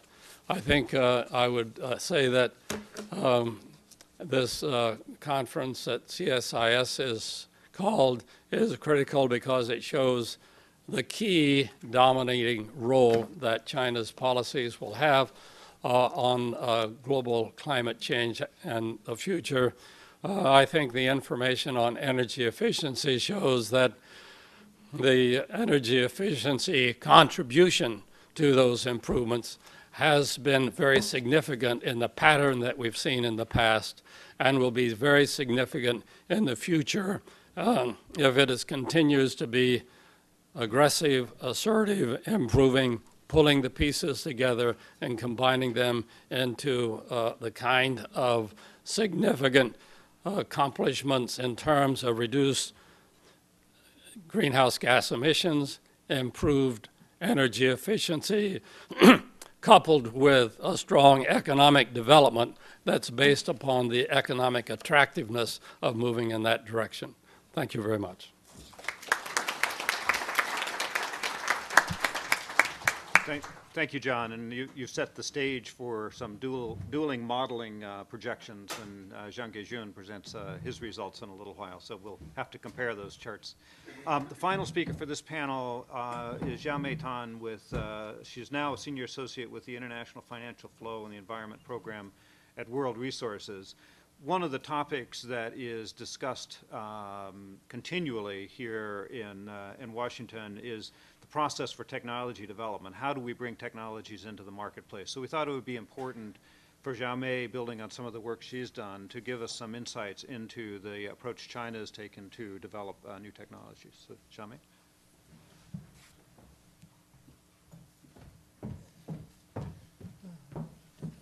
Which one's yours? Where's Lisa? It's on. on the thing. Okay. Oh, should I- One second.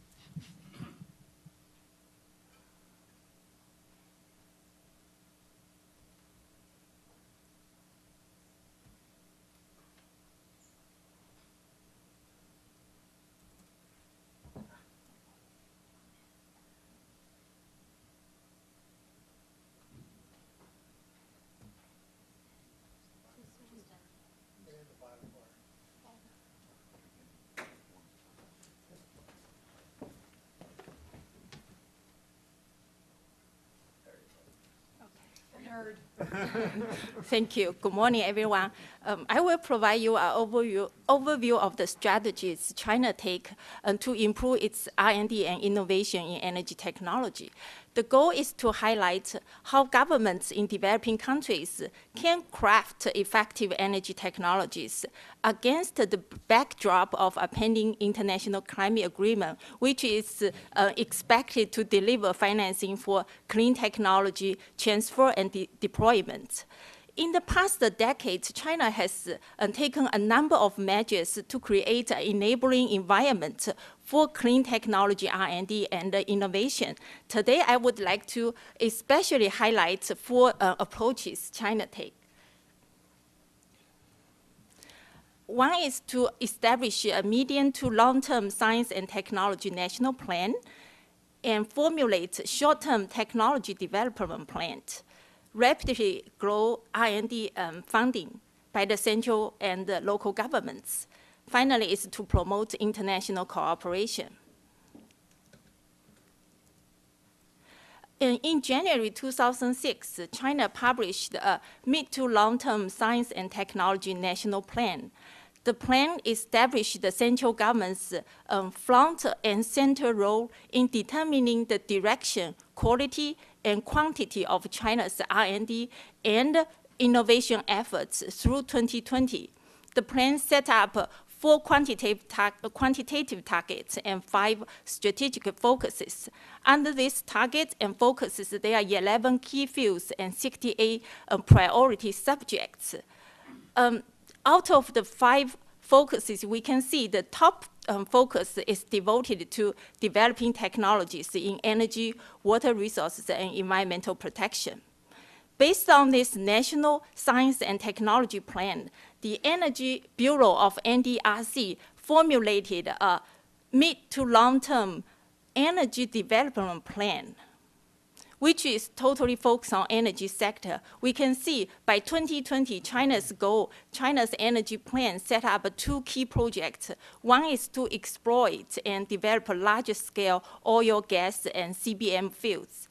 Two is to build large-scale and advanced PWR pressurized water reactor and high-temperature gas-cooled reactor both projects, we can see the goal is to um, reduce China's dependence on foreign energy and increase energy security. In addition to this mid to long-term national science plan, um, the government also make short-term technology development, development plan, which correspond to China's five-year um, five-year plan. We all know that China has a five-year plan. For example, the 11th five-year science and technology national plan um, uh, set up short-term goals and targets for China's science and technology development from 2006 to 2010. Right now, China is developing, um, is constructing 12th five-year science and technology plan, and the plan is led by Wang Gang, who's the Minister of Science and Technology, advised by a group of experts. The experts come from different sectors of China, of, uh, in China.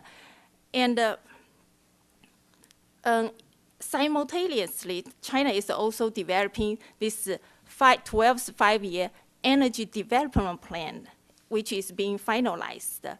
According to a latest issue of Liaowang Zhoukan, which is Outlook Weekly, uh, we can see that this energy focus has five strategic um, centers. One is to develop new energy industries. New energy industry, it uh, includes all the renewable energy and also nuclear energy. Nuclear is uh, considered a new energy source in China. Second is st strengthen traditional energy industries, which means China wanna um, create some large-scale energy bases and further develop large-scale energy power generation and power transmission enterprises, try to create economy of scale. Third is to improve energy security. Energy security is a focus of 12th five-year energy plan. Uh, according to our expert Zhou Fengqi, who's the former head of energy, um, energy bureau of NDRC, he pointed out that China now um, 51% of China's oil relied on imports. This is way higher than the normal uh, 40% dependency rate. So China want to further reduce its uh, dependence on foreign oil. So energy security, improve energy security is a focus of 12's five-year plan. And the fourth focus is enhanced technology innovation. Fourth is to improve the electricity provision conditions of rural and urban residents. In addition to a long-term and short-term science technology national plan, uh, China also dramatically increased its R&D spending. We can see from 1998 to 2009, the R&D spending, the, the speed of the increase is dramatic.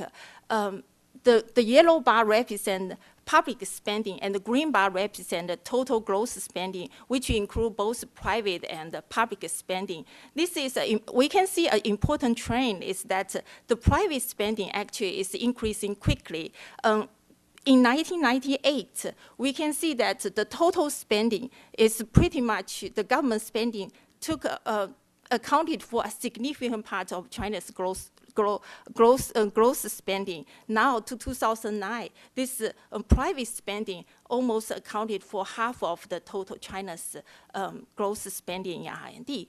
Um, at the same time, China's R&D intensity also keep growing. Uh, we can see that 2009, the intensity is slightly lower than 2008, but we expect that in 2010 or in 2010, this intensity will dramatically increase because according to the um, 11th five-year science and technology plan, by 2010, China's R&D intensity is expected to get reach 2%. So in order to reach that goal, the spending we expect will dramatically increase in 2010. so um, the government spending um, is, we can, we can uh, distinguish them by central government spending and local many provincial government spending. We can see that the provincial government has also scaled up its spending in R&D. Um, in 2007, the first time totally uh, provincial government spending surpassed the central government spending. In 2008, Guangdong province topped the nation. Its R&D spending in terms of absolute number is the highest. Um, but in terms of R&D intensity, Shanghai topped the nation. Shanghai um, almost 5% of Shanghai's R&D uh, GDP is devoted to science and technology. Um, China um, manage its, uh, uh, spend its R&D spending through different government programs. Here, I would like to introduce four major programs. First is the 863 program. We also call the uh, National High Tech R&D program. Second is National Natural Science Fund. This fund is mainly devoted to uh, life science and engineering. The third is Key Technologies, R&D and R&D program. This is more focused on technology deployment. And the fourth is 973, which we call the National Basic Research Program, which is focused on basic research. 863, we can see in 2008, the total spending in 863 programs was 795 millions, and among them, 10% went to energy-related research, um, during the 11th five-year plan, 863's energy focus um, mainly focus on hydrogen and fuel cell, energy efficiency technology, clean coal technology, and renewable energy technologies. This focus changed as China um, entered the six, uh, 12th five-year plan the 973 program, which focuses on basic research, um, the spending in basic research in China is much less than what's spent in applying the science. This has a long-term effect in China's technology development, which we can um, we can discuss later if you are interested. But uh, we can see in 2008, the total spending in uh, 973 program was only uh, 292 million, which is only one third of the spending in 863 program. Uh, among them, 11% is devoted to um, energy research. And there are also a number of energy focus that's what 973 should focus on related to energy. Um, finally, I would like to um, highlight another approach is to um, promote international collaboration. In November 2007, the most, the most is Ministry of Science Technology and NDRC jointly launched the International Science and Technology Cooperation Program the, the launch of this program has, has two purposes. One is to diversify the China's, um, diversify Ch the sources of China's technology imports. The second um, purpose is to speed up the technology transfer speed between China and other developing countries. By the 2009, by the end of 2009, China has already um, signed about over, over 100 agreements, cooperation agreements with 97 countries. We can see that China's uh, cooperation with international partners also has focused. There are five technology focuses.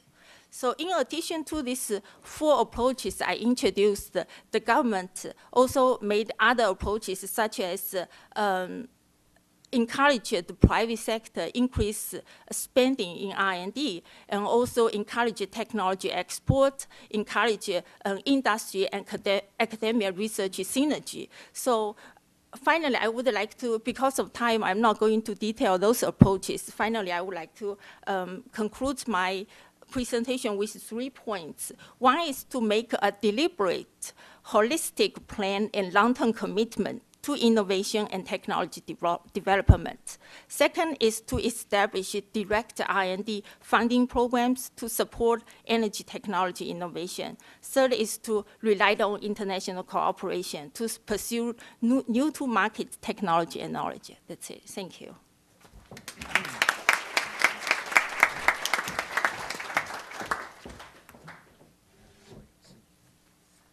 Well, thank you, Xiaomei.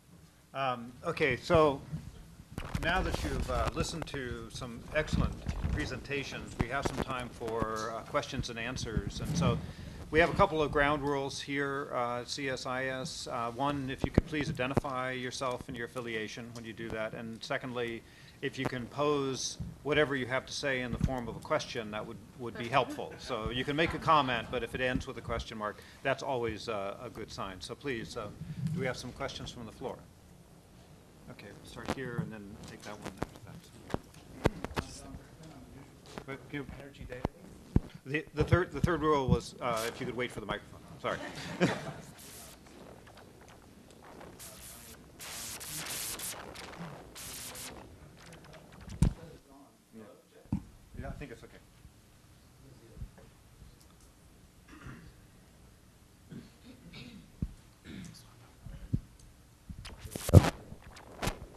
My name is, my name is, there it's working. My name is John Rickman. I'm a news reporter for the Energy Daily. This question is for Mr. Kang Wu.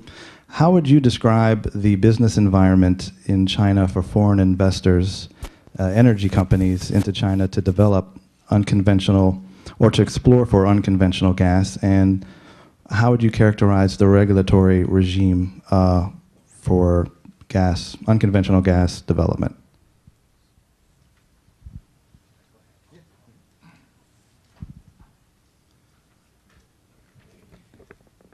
Thank you for the question. I, I think in the, um, the uh, unconventional gas, again, uh, there is a little difference between CBM and shale gas.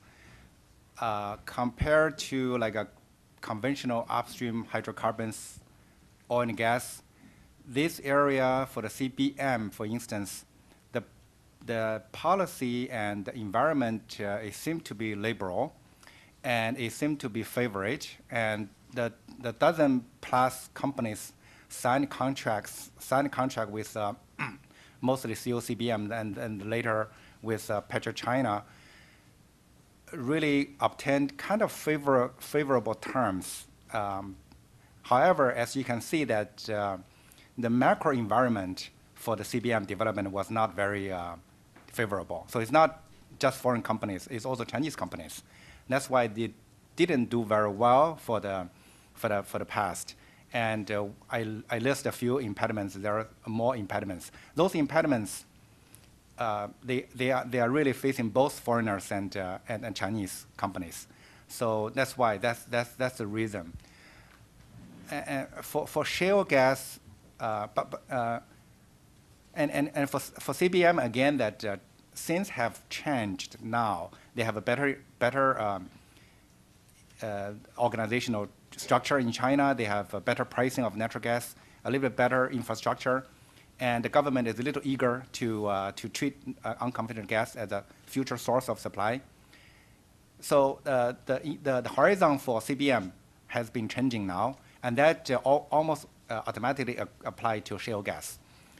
So in a way that uh, there, I, I believe there, there is a lot, of, lots of opportunities, and compared to other uh, upstream oil gas business, onshore particularly, there is a huge, there's a, how to say that, there is still um, lots of good terms and lots of opportunities needs to be explored.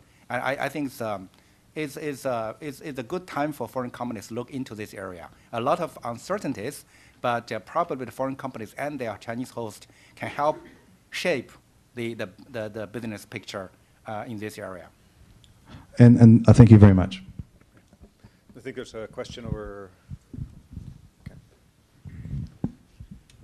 Hi, my name is uh, Peter Marsters. I'm with the Woodrow Wilson Center. Um, my question is for Dr. Wu as well regarding uh, shale gas development. Um, here in the U.S., at least, I know shale gas can run into a lot of issues with water, both in terms of potential contamination as well as it requires a lot to start these wells. Um, do you see that as a potential constraint in future shale gas development in China?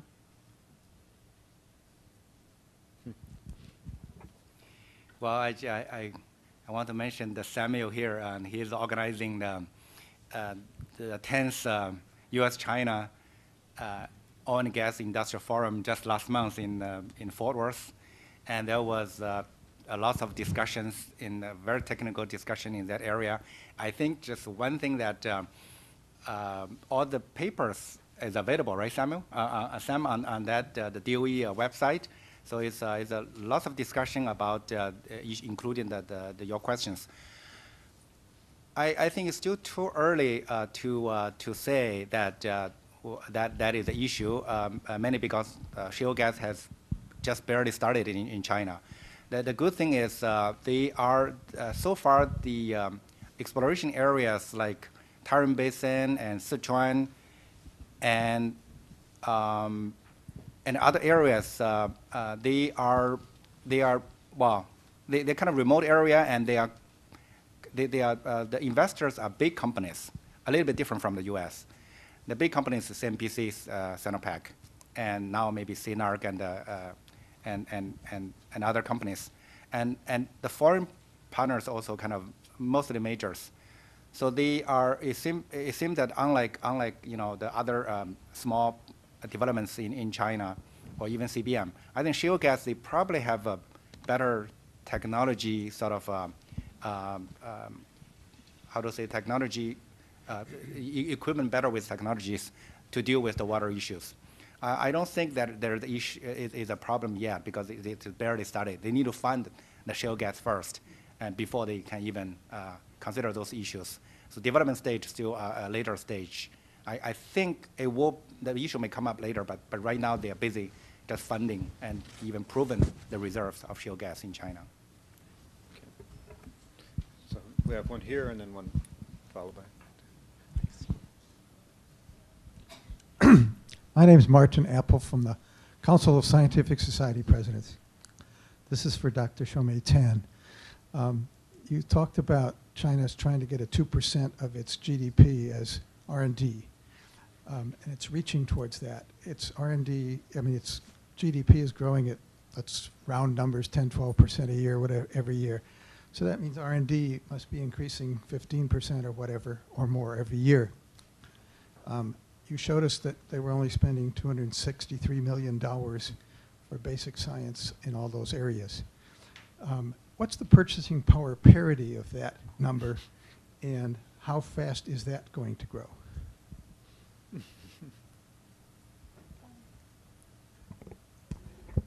The number I showed you um, was uh, um, 2009 spending in a 973 program. That's 290, uh, 282 million dollars.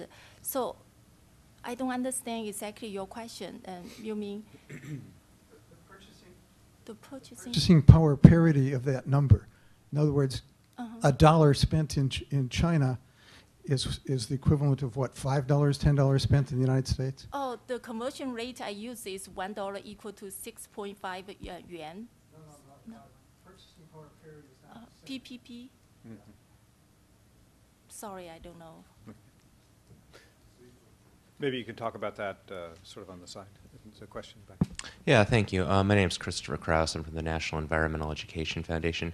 Um, on the topic of water, uh, Kate, I was wondering if maybe you could uh, talk a little bit about the um, was it AP1000, the new reactor? How does uh, how, how much water does it need, and how does that compare to traditional reactors?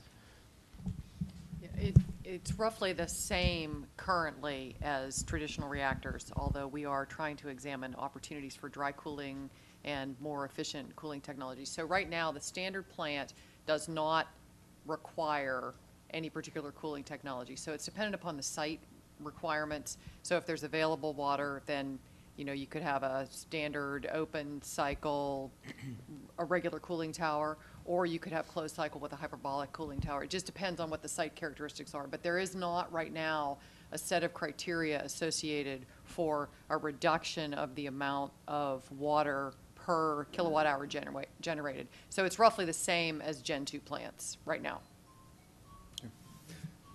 If I could follow up a little bit on the, the nuclear question.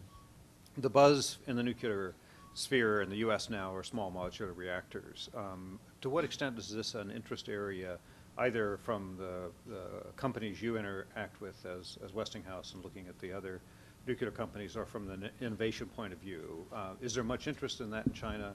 Or is the growth such that it's really large reactors that are- will, will be needed for the future? Well, I think that's, a it's an interesting question combined with the water question, recognizing that um, if you have lots of sites right along the major water sources or along the ocean, um, then traditional cooling technologies are fine. But if you go to inland sites, um, either the grid will not support a large 1,000 or 1,700 megawatt plant, um, or there's not cooling capacity for it. And so uh, China is, is looking at smaller design, but it is a, a growth issue. Where they need the growth mostly is where there's also water availability, um, and, and so larger plants are making sense. Generally, though, um, small modular, modular reactors are really interesting to do a couple of things. One is to be able to um, repower, and I use that in quotation marks, recognizing that when in the United States or in Western Europe, when we're going to repower a fossil unit, take it off for environmental reasons, or because my- myriad of them are built in the 50s and 60s. And so as you begin to roll those off the grid, you need something that's roughly the same size, megawatt hour production size, so that you can essentially level that site and put a new power system there. So you use the site, you use the water intake structure, potentially the transmission system. Um, So um, modular reactors could potentially extend the footprint of carbon-free um, electricity production. And so they're very interesting from that perspective.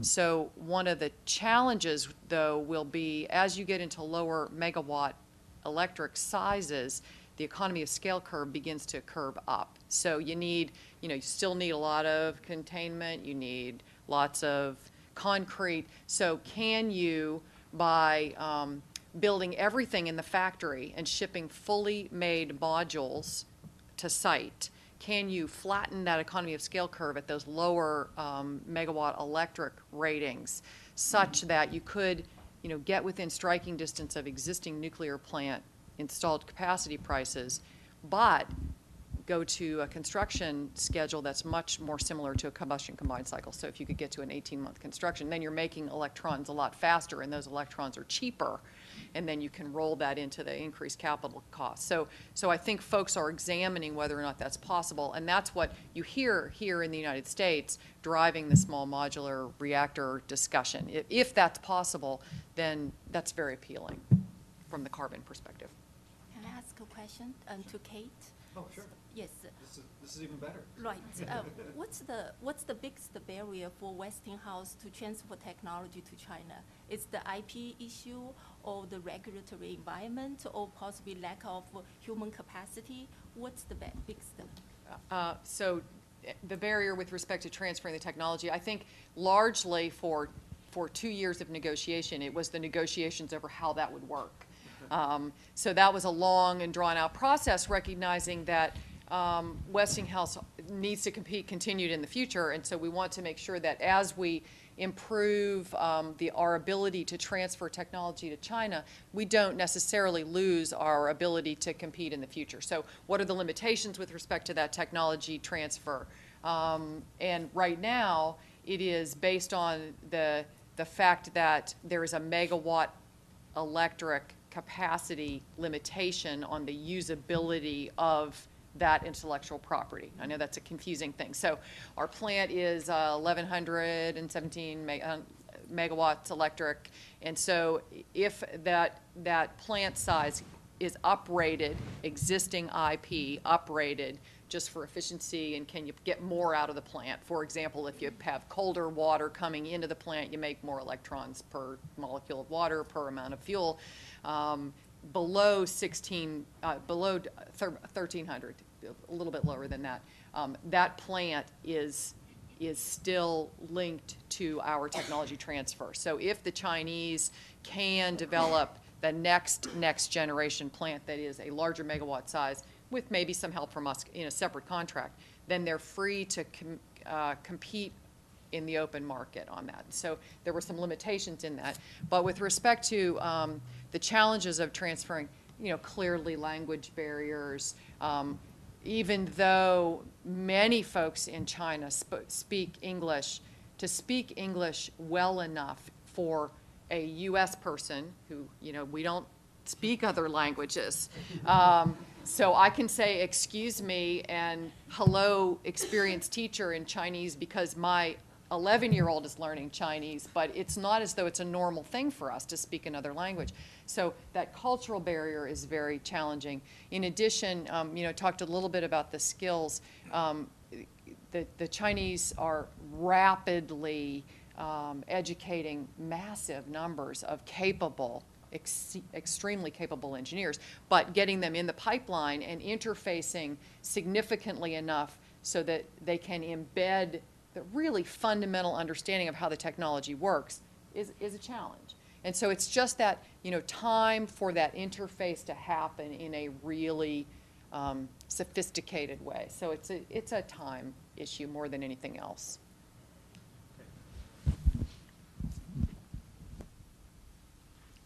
Hi, um, I'm Damien Ma. I'm a China analyst at Eurasia Group, and this is a question for Dr. Kang Wu again. Um, I just want to talk a little bit about the broader natural gas question in China. Um, you know, um, most people in China think the next decade will be the era of natural gas in China.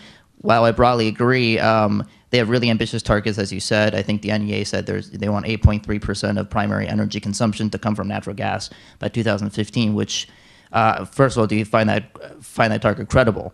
And if it is credible, is it going to get written into the 12th five-year plan? And if it does, or if a, some uh, if a target close to that gets written in, into the next five-year plan, what would you say are the demand drivers that would produce such a consumption uh, uh, change?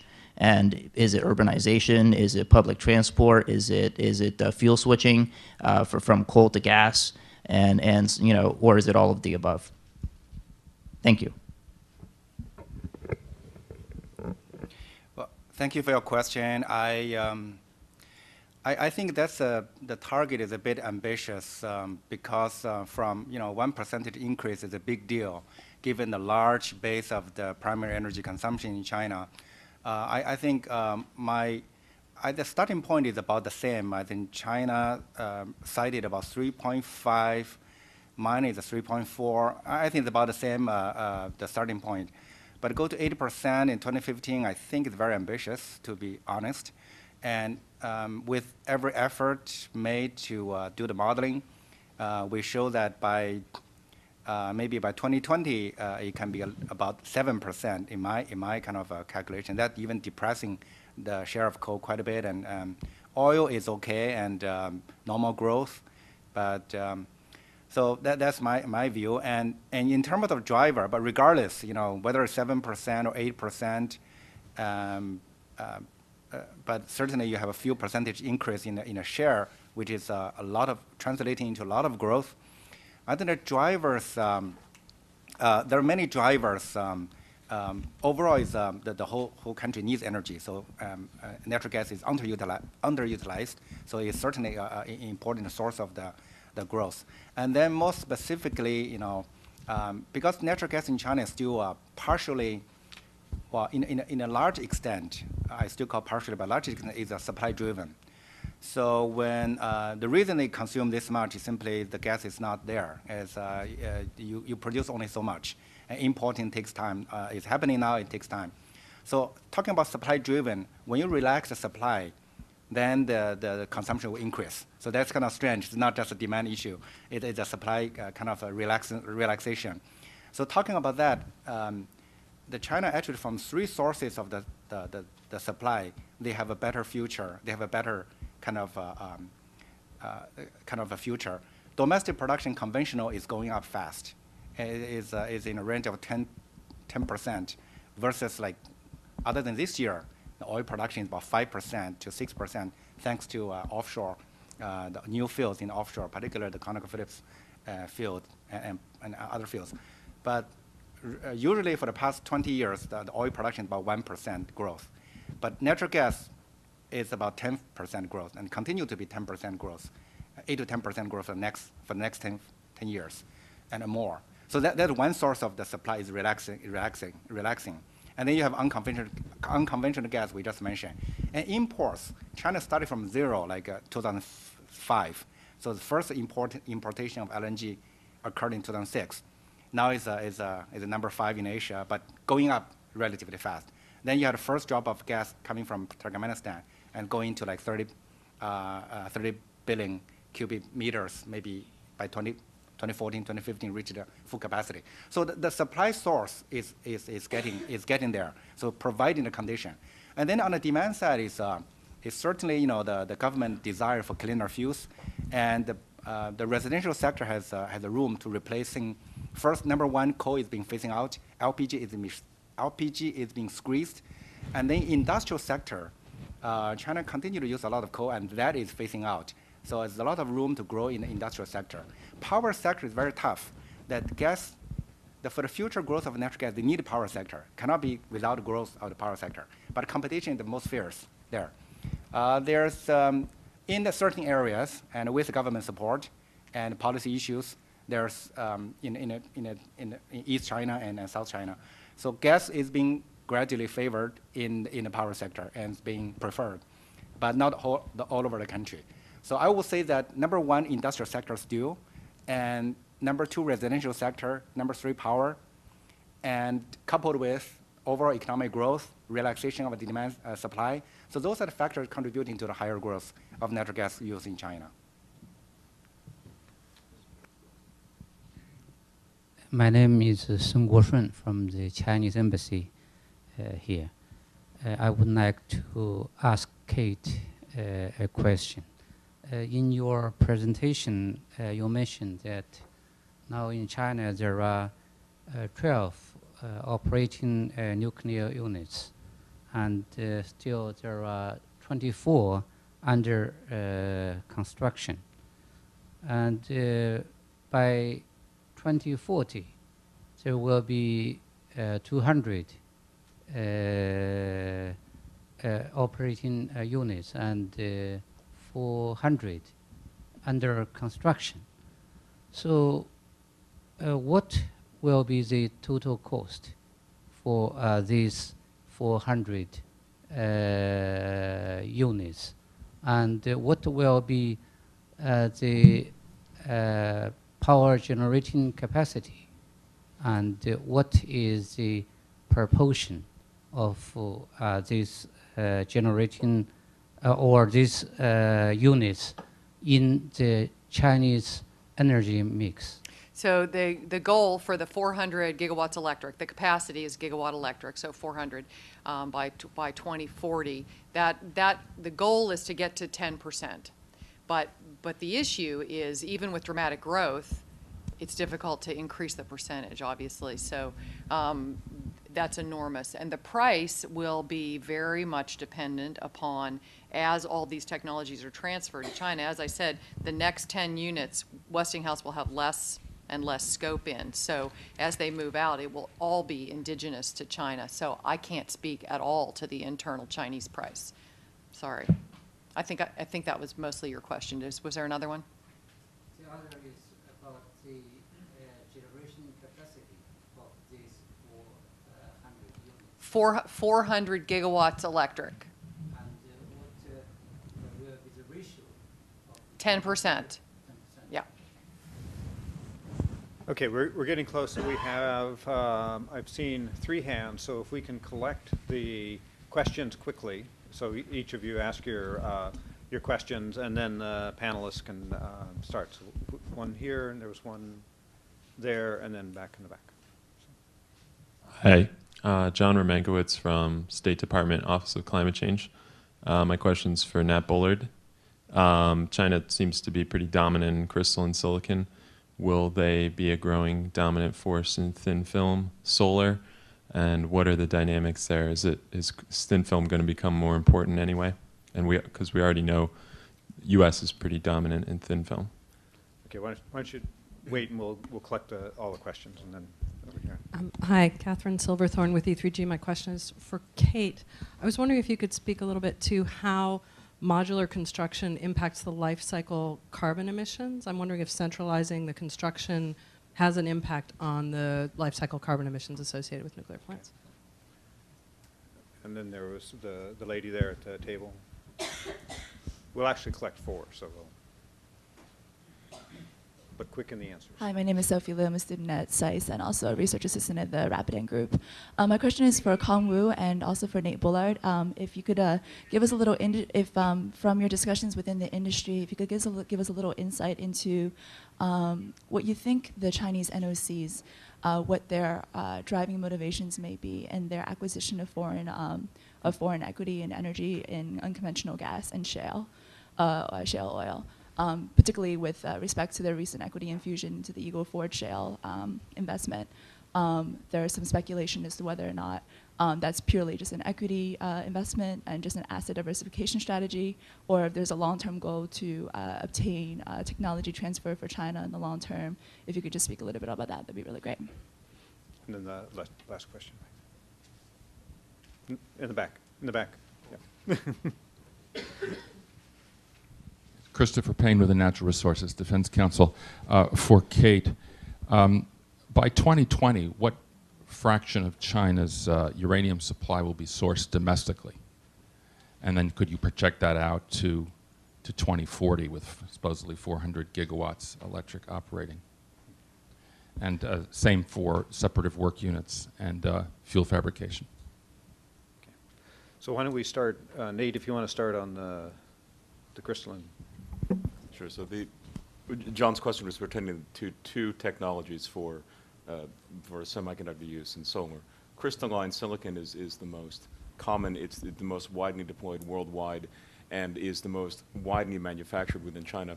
Thin films uh, is a process that is more akin to say spray painting on glass or a metal substrate. Produces a, a similar semiconductor surface. Uh, they are inherently less efficient and therefore take up more space per any unit of generation. China really ha- has done a great deal of deployment of, or at least the factory deployment of thin film. Uh, a lot of a lot of capital equipment was sold by the United States, uh, companies such as Applied Materials, into China to do developments of, of thin film. However, thin film is a moving target, uh, as is as is crystalline silicon. So as crystalline silicon becomes cheaper and cheaper, your thin film product has to become commensurately cheaper and higher in efficiency in order to compete on a levelized cost basis. And what we found is that a lot of the manufacturers in China actually drew back from some of their thin film goals, and if they had the ability to invest in their already decreasing costs in crystalline silicon, would go that way. Uh, is it going to be, in the long run, a more important part of the energy mix? Potentially. The key number is always the cost of energy generated, not the cost of the equipment. If there are applications wherein uh, uh, thin film makes more sense, such as building integrated materials, uh, or if there are places where it yields more energy because of the, the yield curve inherent in the semiconductor, given particular environmental conditions, then you can see it deployed. Is there going to be a technology developed sort of uh, native to China in thin film? Potentially. What we've seen so far have been adoptions of technologies that are proven on the lab bench or started to be proven in factories in Europe and the United States, deployed at scale in China. But we've also seen Chinese companies that have adopted proprietary processes from the United States on a licensing basis. So it's, there's the potential always to have a lot of deployment coming from the Chinese sector thanks to expertise in manufacture. So I guess that would be that.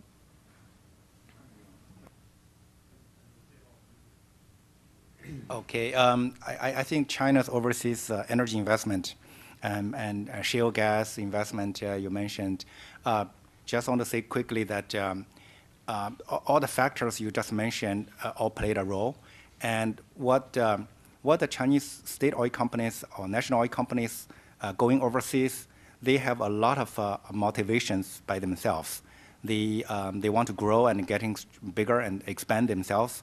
And the, um, the, the, the, in terms of the government uh, uh, and uh, national oil companies relationship, uh, by going overseas, these state oil companies, they win very quick approval by the government, mainly because of the, the, the, rising concern since 2000 by the government on energy security. So government is concerned about energy security, and in a way that national oil companies kind of take advantage of that, basically. And so the um, um, if if you want to do one billion dollars investment inside China today, even by these state oil companies, it's very difficult. You have to wait for a long time and turf fights, and about you know approval process takes months, years. But if you go overseas, you, you win very quick approval, and and and that that's how uh, the the internal sort of uh, Uh, competition and uh, among the national oil companies. So overall, they, they, they are going everywhere uh, overseas, including this uh, uh, shale gas. But this shale gas and, and CBM, in a way, in, in Australia, coal seam gas in, in, in, Australia, that also has a has a component that they want to gain experiences and gain technologies so they can do a better job at home uh, for, for China's own unconventional gas exploration. So, I mean, your points are well taken, I think, for many of your, your elaborate, your, your, your kind of uh, uh, views. Thanks. Okay, I'll start with the uh, life cycle carbon issue. We've only started examining the life cycle um, carbon footprint of the AP1000. Um, the, the, what I can, so I don't have an answer for you, but what I can tell you is um, upwards of 10 to 15 percent of the total cost of a nuclear plant is in, is in transportation. So it's really expensive. For example, you, you send a steam generator um, from, there are a couple or three steam generator manufacturers in the world. It costs maybe a million dollars to send a steam generator somewhere. So you, it's a significant impact for the cost that doesn't speak to the carbon, but it does suggest that there is a significant opportunity financially to bring the construction of the components and the construction of the modules closer.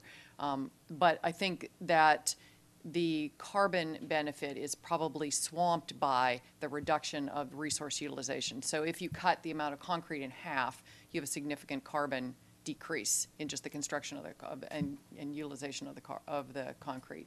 So we're just beginning to ask ourselves those questions. We don't have those answers. Um, on the fuel supply issue, Westinghouse has the first core um, contract for all four of those units in China. We do not have follow-on. So the goal for China is to be completely indigenous.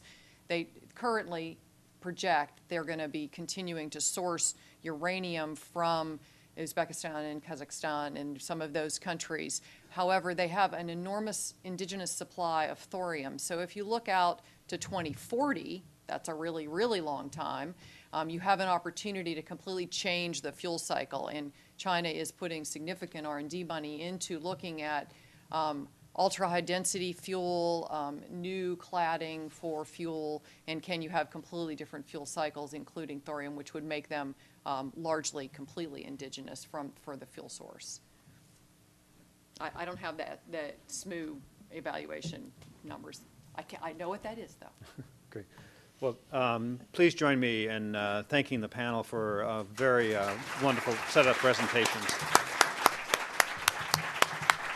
Um, And if you have, have more questions, I hope that they will be staying um, for the, the lunch we'll have. We don't have a, a set speaker for lunch, so maybe you can seek them out, but if they want to make their escape, you might do it soon. Um, We're going to take maybe five minutes to bring Jiang Kejun up and get set up, so if you want to take a, a break, we've kept you going for a long time, and then we'll resume in, let's say, five minutes. Thank you.